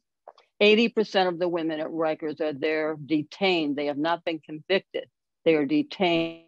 They have the services and housing and dignity. Uh, we need, give us the money, I think is what the best thing I can say. Give us the money so we can close Rosie's down and open up the kind of programs women need. Uh, I just can't keep saying it anymore. Thirty, four hundred fifty thousand dollars. It costs us thirty thousand dollars show us the money, show us the money. We can close it down. We can do it this year. We can do it in 2021, 22. And let's hear more from the women with lived experience. Thank you so much. I'm so honored to be in the company of these women. They have taught me so much about dignity and courage and survival and success. I'm touched all the time by their dignity and their resilience and their courage. Thank you so much for letting me speak today. Thank you. Next, we will hear from Helen Skipper, followed by Jordan Rosenthal, and then Sharon White Hannigan. Harrigan. Thank you. I'm on. Hello, can you hear me? So I'd like to say thank you for everyone who has shown up today and testify. I'm going to start off real short and sweet. I grew up on Rikers Island. I grew up in the Rose M. Singer Center. I had my son through the Rose M. Singer Center in 1988. While I appreciate what corrections are trying to do now, guess what? I was pregnant on the island and gave birth in 1988. We are now in 2021. Your solutions are coming 20, 30, 40 years too late. I also want to say I am affiliated with a little piece of light. Donna Hylton also came up and described what a little piece of light does. We need more supports. We need more positive supports for women And the time that I went back and forth to Rikers Island from in the early 80s until I left out for the last time in 2007, I repeatedly came in addicted to drugs, left out addicted to drugs. I came in suffering in crisis from a mental health, left out the same way. I came in homeless, left out homeless at the end of the day, we need to rebuild this system so that it's not punitive and it is more rehabilitative. I was repeatedly criminalized because I was addicted to drugs. So yes, I might have went into a drugstore and stole a bottle of lotion, but that was to feed my habit. Help me with the situation that is at hand. We criminalize mental illness, we criminalize substance abuse, we criminalize homelessness money that you are using to build up an infrastructure that is already broken and falling into the ground can be better used to support services for housing and transitional services for women coming home using the sequential intercept model there are several places we can intercept someone going into the criminal justice system. That money can be used in all areas, from community to courts to reentry please do not spend any more of my money, my taxpayers' money, to rebuild something that needs to be trashed. We need to go out this different. Thank you. Thank you. Next, we will hear from Jordan Rosenthal, followed by Sharon White Harrigan, and then Deborah Regano. Clock is ready. Hi, my name is Jordan Rosenthal, and I'm the Director of Community Engagement at the Women's Community Justice Association. I wanted to first thank Chair Powers and Chair Diaz for holding this hearing and bringing attention to the horrendous conditions in which women and gender expansive people suffer in our city jails. First, I want to acknowledge the fact that the city's current plan to move women and gender expense, um, expansive people off of Rikers means that they will be last. The current plan will move women to a borough based facility in Queens, but most women, specifically 33%, are charged in Manhattan, followed by Brooklyn with 19%, whereas Queens only represents 15%.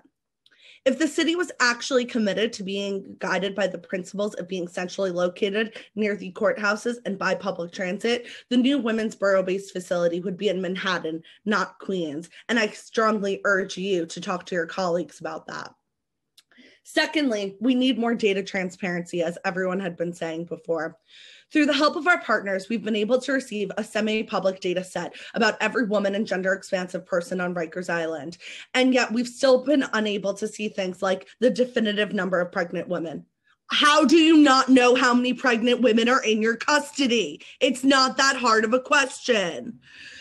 But we do know things like that there were 276 women in custody in mid March, and 19% were there for parole violations. 14% had A misdemeanors.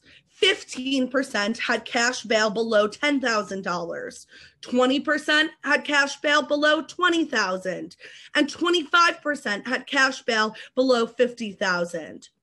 24%, one fourth were charged with property crimes. We are valuing people's property over people's lives. And 7% were charged with drug crimes. We could decarcerate a majority of these women and gender expansive people today if the city made more publicly available data. So advocates in the community on people's behalf, one by one. I urge the city of council to push MOCJ to enter into a data agreement with the Women's Community Justice Association so we can work together to decarcerate women one by one. Thank you for your time, and I look forward to working with you. Thank you. Next, we will hear from Sharon White Harrigan, followed by Deborah Regano, and then Danielle Minelli Pagnotta. Clock is ready.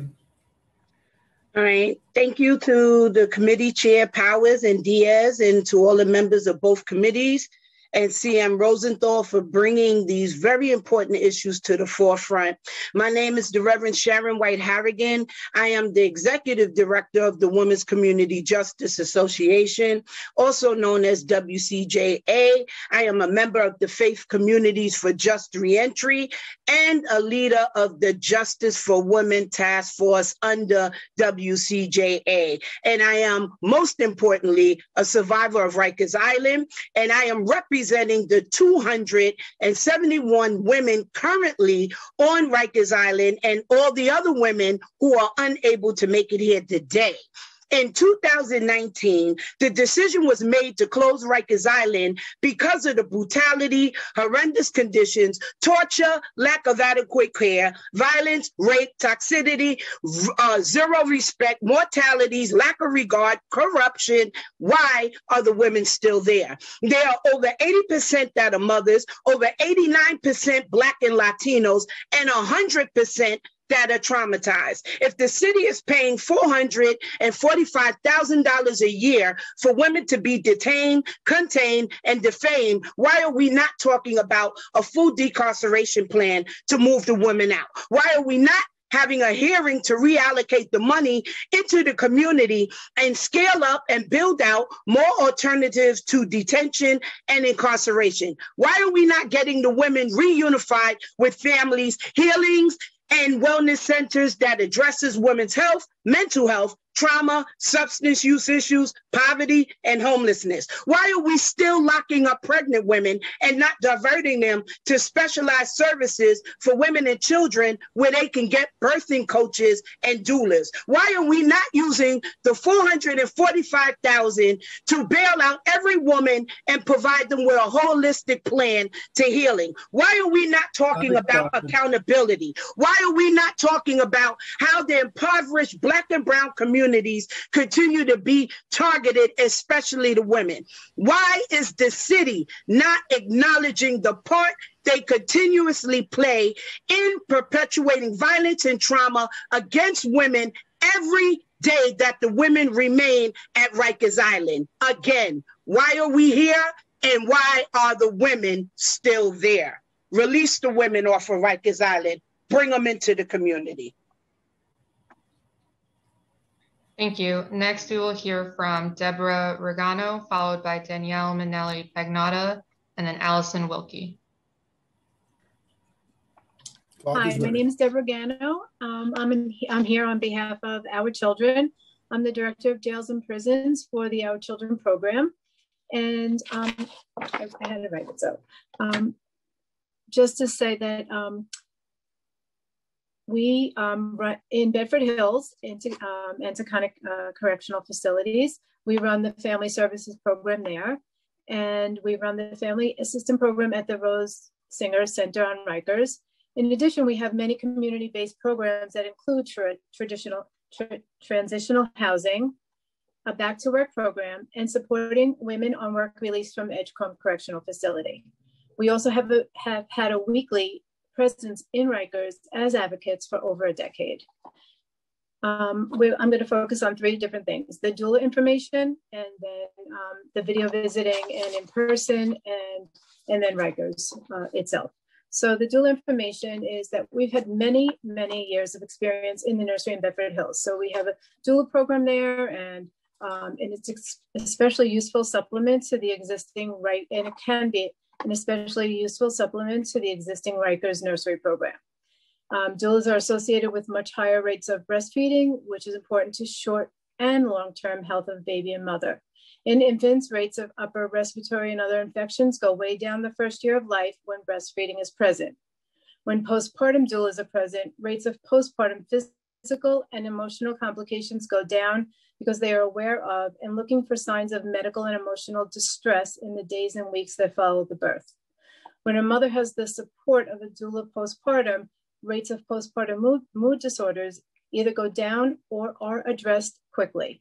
Women have the choice to receive doula services that are incredibly important for the women's well-being, and they are happier and calmer when they have that necessary support.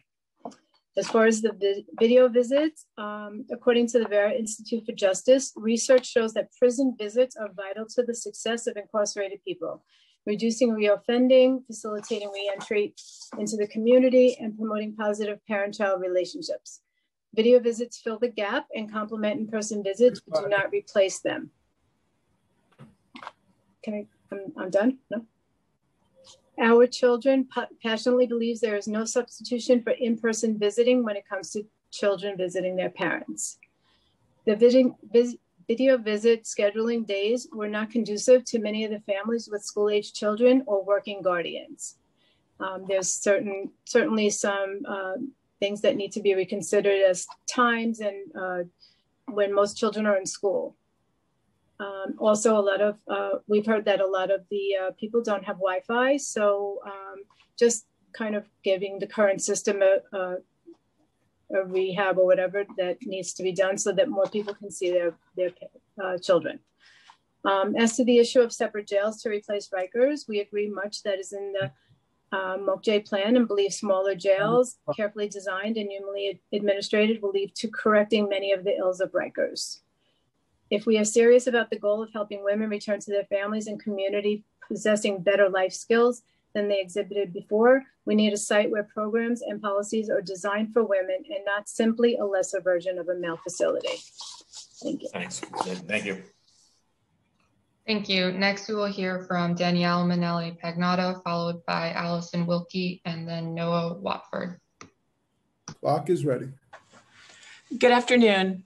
Thanks to Chairs Diaz and Powers and the members of the committee for holding this hearing and inviting public testimony. Thanks also to Councilmember Rosenthal for your questioning earlier today. I'm Danielle Minelli Pagnotta, and I'm the Executive Director of Providence House, a nonprofit founded in Brooklyn over 40 years ago, now serving more than 400 women and families impacted by homelessness, mental health issues, justice involvement at our nine transitional and permanent residences throughout the borough. We're proud to share this work with other organizations as a part of the Women's Community Justice Association and the Beyond Rosie's campaign. I'm also speaking as a New York native and a resident of Queens. And in all of these capacities, I feel that closing Rikers Island, in particular Rosie's, should remain among the city's and the city council's very top priorities until every person is off that island. There's no call to waste two minutes recounting the well-known reasons for closing Rikers. The events of the past year have done more to only highlight the horrible conditions for New Yorkers held there and further shown the moral imperative to immediately change the way justice is perceived and pursued. Simply, there's unnecessary suffering, lives ruined for no reasons, and an outrageous injustice going on every day here in this city. Near the top of the Articles of Agreement that the city adopted in October 2019 was a resolve to increase ATI funding. I encourage you all to create and sustain as much urgency around that priority as you can. Providence House, along with other fine organizations represented here, are currently operating residences that serve as alternatives to the dehumanizing and unsafe confinement at Rikers. There are solutions that keep women in the community, connect them with services to address mental health issues and other needs, support them in developing healthy relationships and more productive patterns in their lives, and more importantly, avoids further trauma, isolation, and alienation. This is especially important for programs like the one that we run at Providence House, which reunites women with their children and prevents the trauma from rolling into other generations. These are excellent alternatives to Rikers, and I would urge the committees to work with MOCJ to release the RFP that was previously referenced for transitional housing.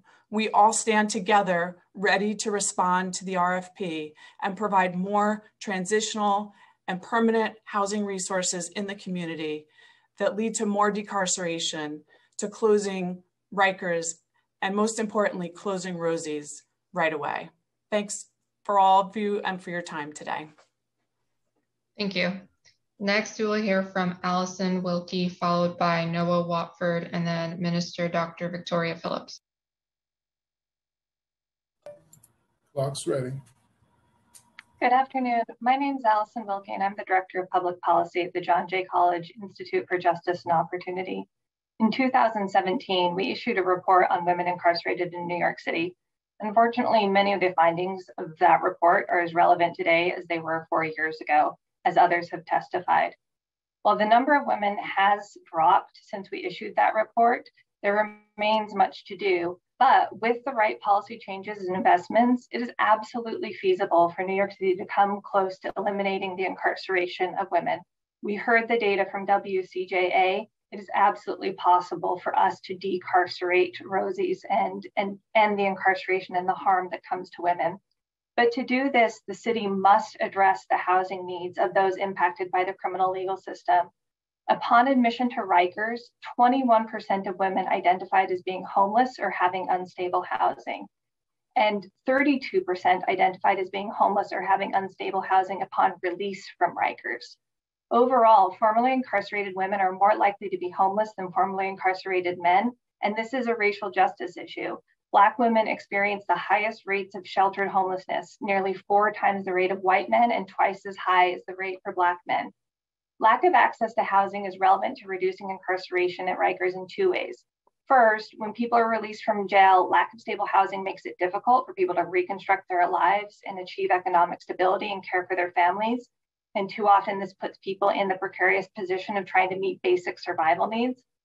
Second, many alternatives to incarceration and treatment programs are difficult to access and complete successfully without a stable home as uh, Dana Kaplan from MOCJ said earlier, the hotels are at capacity. And as Chair Diaz very personally talked about, transitional housing isn't permanent housing, although those programs are doing amazing work. But the City Council can take a tremendous step to addressing the needs of formerly incarcerated people by passing Intro 2047, the Fair Chance for Housing Act. The bill would eliminate the use of conviction records in housing and increase access for the 117,000 New York City women who have a conviction. The passage of the bill would increase access to housing, help women exiting Rikers, all without cost to the city, all without having to build new housing, and all without having to wait for RFPs. The city administration supports Intro 2047, and the city council needs to act now and vote on it at the next dated meeting so that we can continue to decarcerate Rikers and achieve justice for women. Thank you. Next, we will hear from Noah Watford, followed by Minister Dr. Victoria Phillips, followed by Sister Eli. Clock is ready.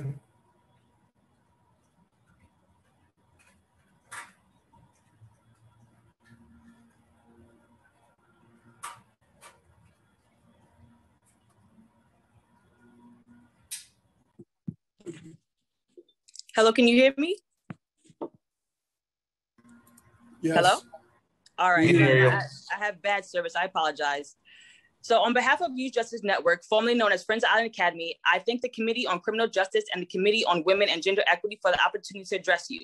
My name is Noah Watford. I'm a senior youth advocate at Youth Justice Network, serving young women, trans people, and gender non-binary people aged 18 to 24 at Rose M. Singer Center. I met Maritza when she was around four months pregnant and incarcerated at Rosie's in the pregnancy ward. She was in good spirits and throughout her pregnancy, despite the stress of her trial and impending court dates, made an effort to engage with programming, her advocate, and was planning for her child and her future. As her due date approached, my colleague and director of the McKeever Project, Michelle Cardona, and I walked her through the process of childbirth. She would be driven to the hospital, only given a few moments with her baby, and then her baby would be taken away. Her due date approached, and as expected, she was taken to the hospital for 24 hours to have her baby. When we next saw her, she was a shell of the person we had last spoken to. The correctional officers on duty informed us that she had come back from the hospital and had been in her bunk for seven days without showering or eating. When we finally spoke to her, she told us, I held my baby for only a few minutes. Then they took him away, gave me a pad, and told me to get ready to go back to Rosie's.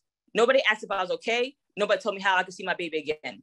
Throughout my years of working inside Rosie's, I've heard firsthand about the young women, about the isolation and trauma they face on a daily basis, cruelty at the hands of the correctional officers. Being pregnant and giving birth in jail is extremely traumatic, isolating experience. Studies have shown that the separation is incredibly harmful for both mothers and children. For babies, separation from a mother at birth can lead to multifaceted severe emotional and behavioral problems later. For mothers, can also be psychologically traumatizing and has been shown to increase risk of recidivism. Rikers Island actually has a nursery facility where women can nurse their babies for up to a year. Women must apply for this privilege, and according to DOC documentation, in the last five years, 26 women have applied for the nursery, 11 applications have been approved, and only five children have been admitted to the to nursery. I personally haven't witnessed any young women using a nursery. None of my participants have reported to using the nursery as well. Additionally, advocacy and support services lead up to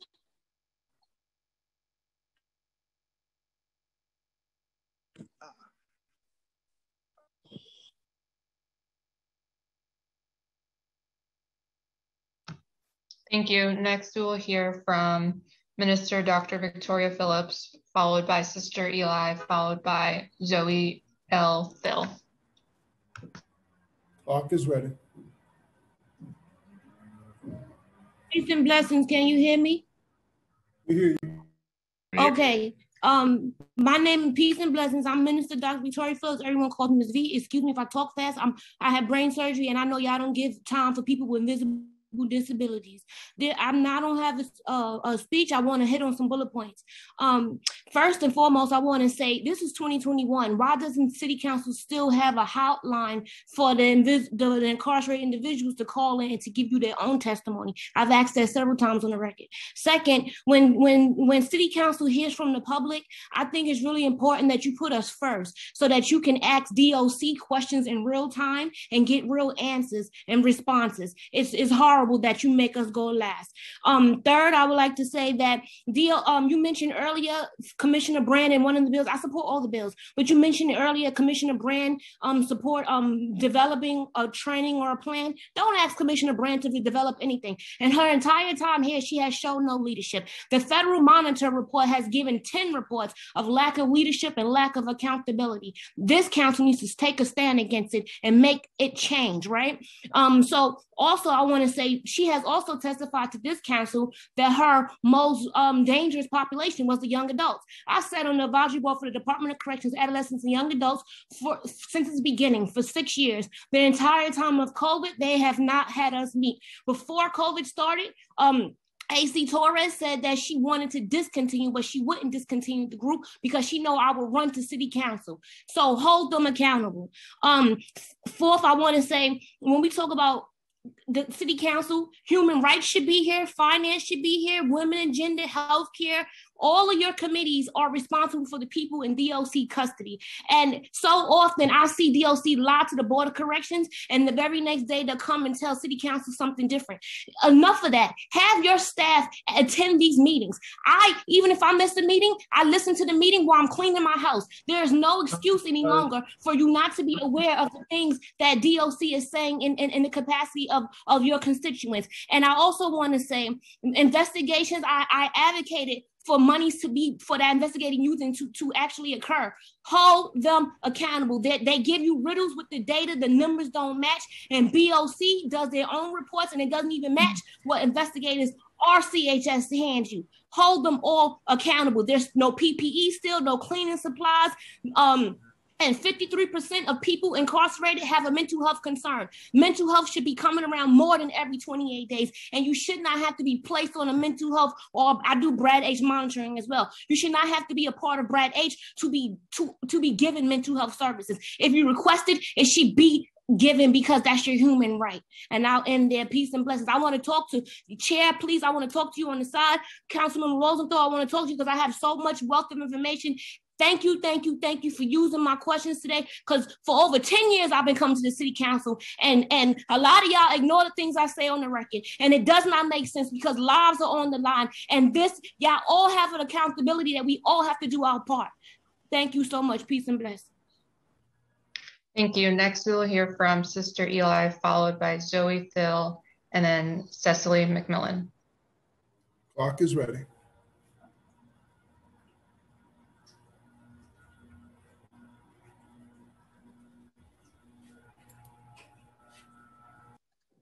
Good morning, kings and queens. My name is Sister Eli. I'm a graduate of Women's Prison Association Leadership and Media Project and a member of the Justice for Women COVID 19 Task Force. Did you know that I had to seek these programs out for myself? No referrals were made by New York City probation to assist me and my child be successful in the community. Over 90% of women are gender and gender expensive people are detained on Rikers or held at Rose M. Singer. In mid-March of 2021, 19% were for parole violations. In mid-November of 2020, 23% had been diagnosed with a serious mental health illness like my mother, who was suffering from grief and my father dying and a psychotic break. One night she was pushed by a Greek male whom she pushed back.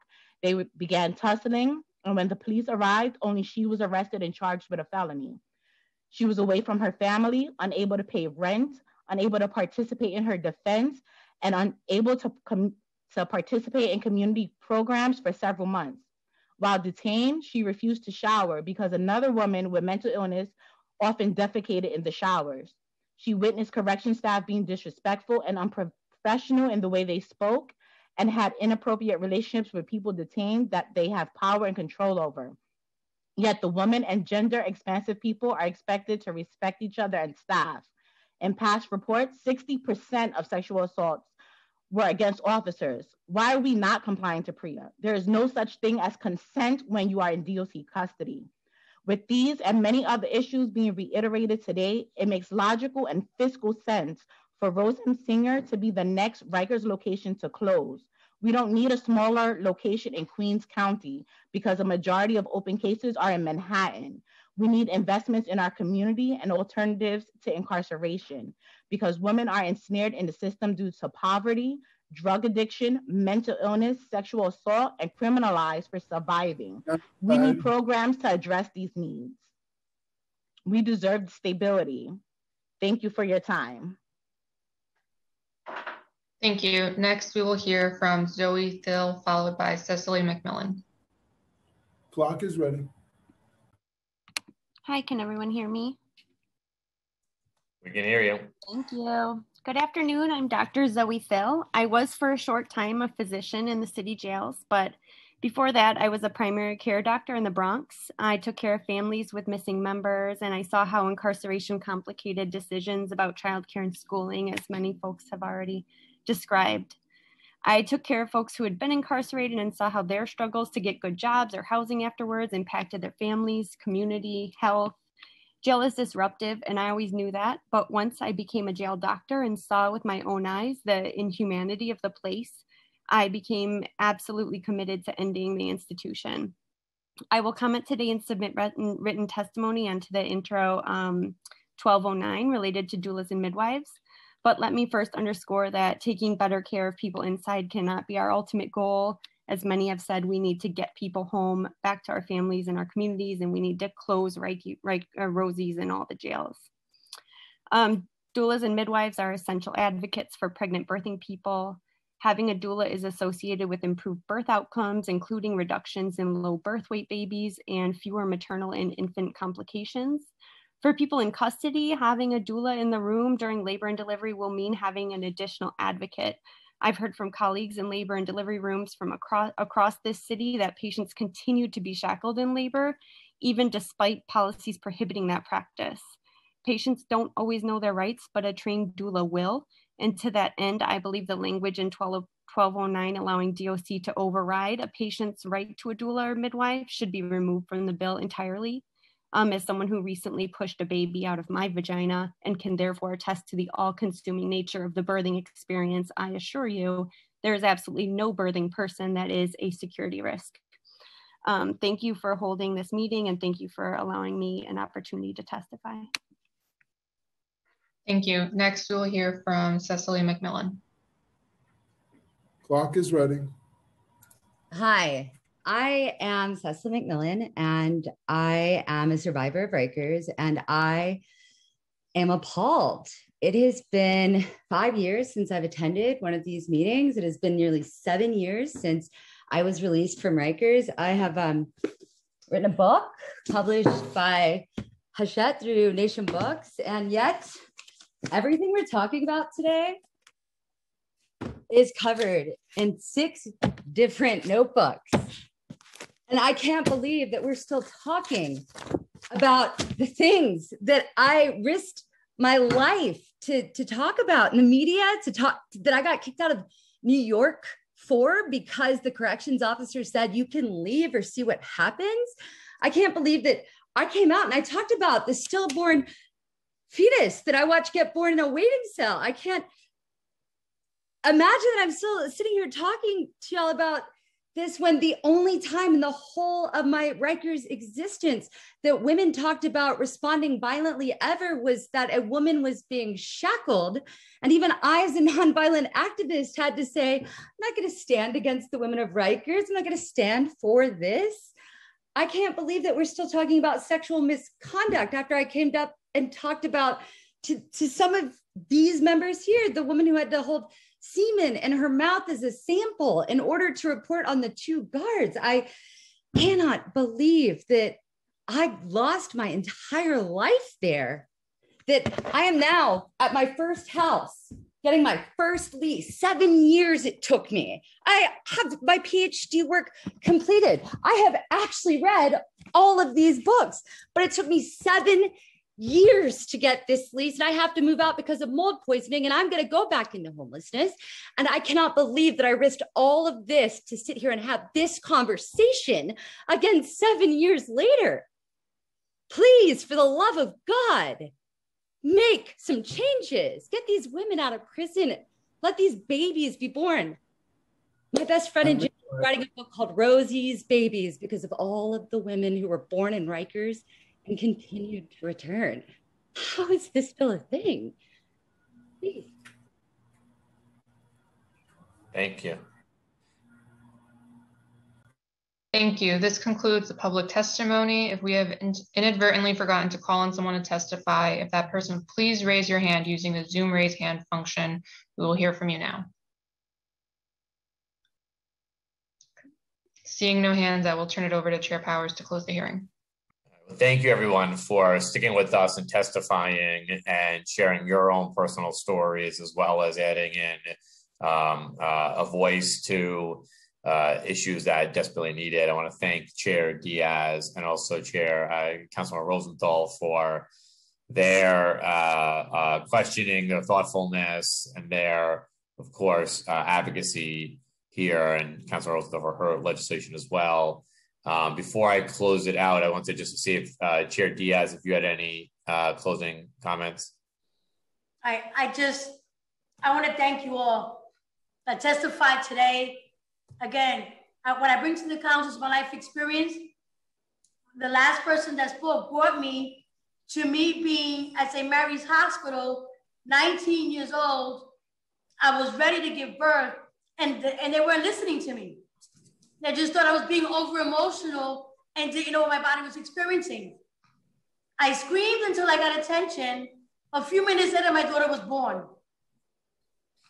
So again, I, I'm sorry for your hardship. As a woman, I, I get it. I understand it. Giving birth to you, uh, it's hard. It, it's hard as is. And being shackled, it's, it's human rights. And then in closing, if I may, my understanding is that there's conversation about being able to choose who's touching your body, whether a male or a female. That should also be considered human right. So I will be getting together with my colleagues and supporting that bill. Thank you for the opportunity to have closing comments. Enough is enough. Yeah. Thank you.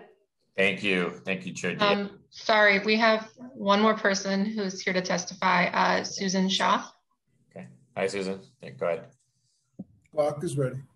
Hello, sorry about that before. Um, good afternoon, Chair Powers, Chair Diaz, and members of the Committees on Criminal Justice and Women and Gender Equ Equity.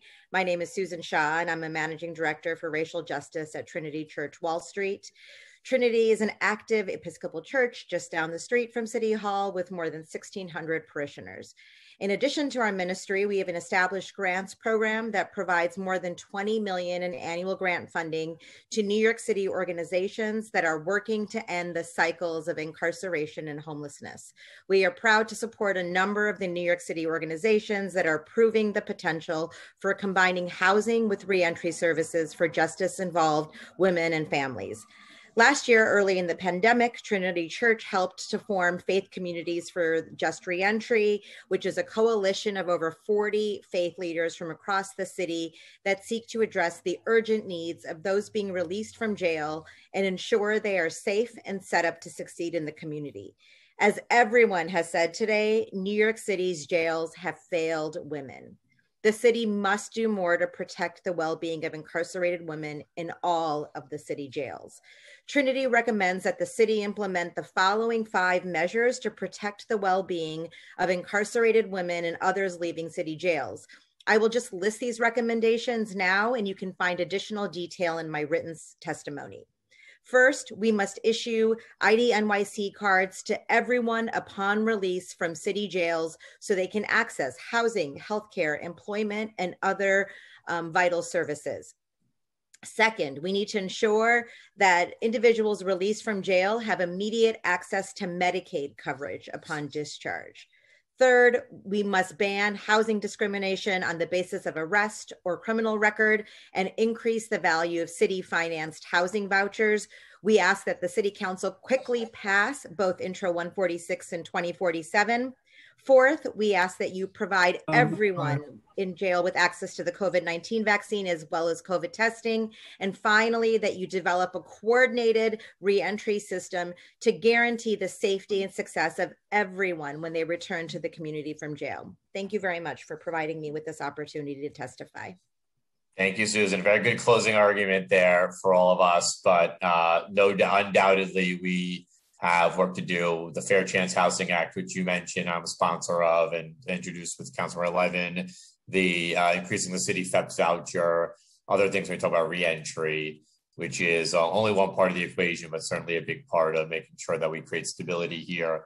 And uh, I want to thank Trinity for your work and our partnership in terms of focusing on the reentry work, and including the IDNYC aspect of that, which is just a simple measure we've been pushing for to uh, uh, make it a little bit easier for people to restart their lives. So um, thank you for that. Thank you for your testimony. And with that, we are going to close out the hearing. Thank you to everybody. Our staff will be reviewing testimony, looking at just legislation, taking feedback, and of course, going back to the Department of Corrections with uh, our uh, follow up need for information and data. So if you want to reach any of us, you can email us and reach out to us. Thank you to councilors who stuck with us and asked questions. Thank you to everyone for your patience uh, through a long hearing. But thanks, everyone. And please get vaccinated and continue to wear a mask and be safe and healthy. We'll see you soon. Thanks so much.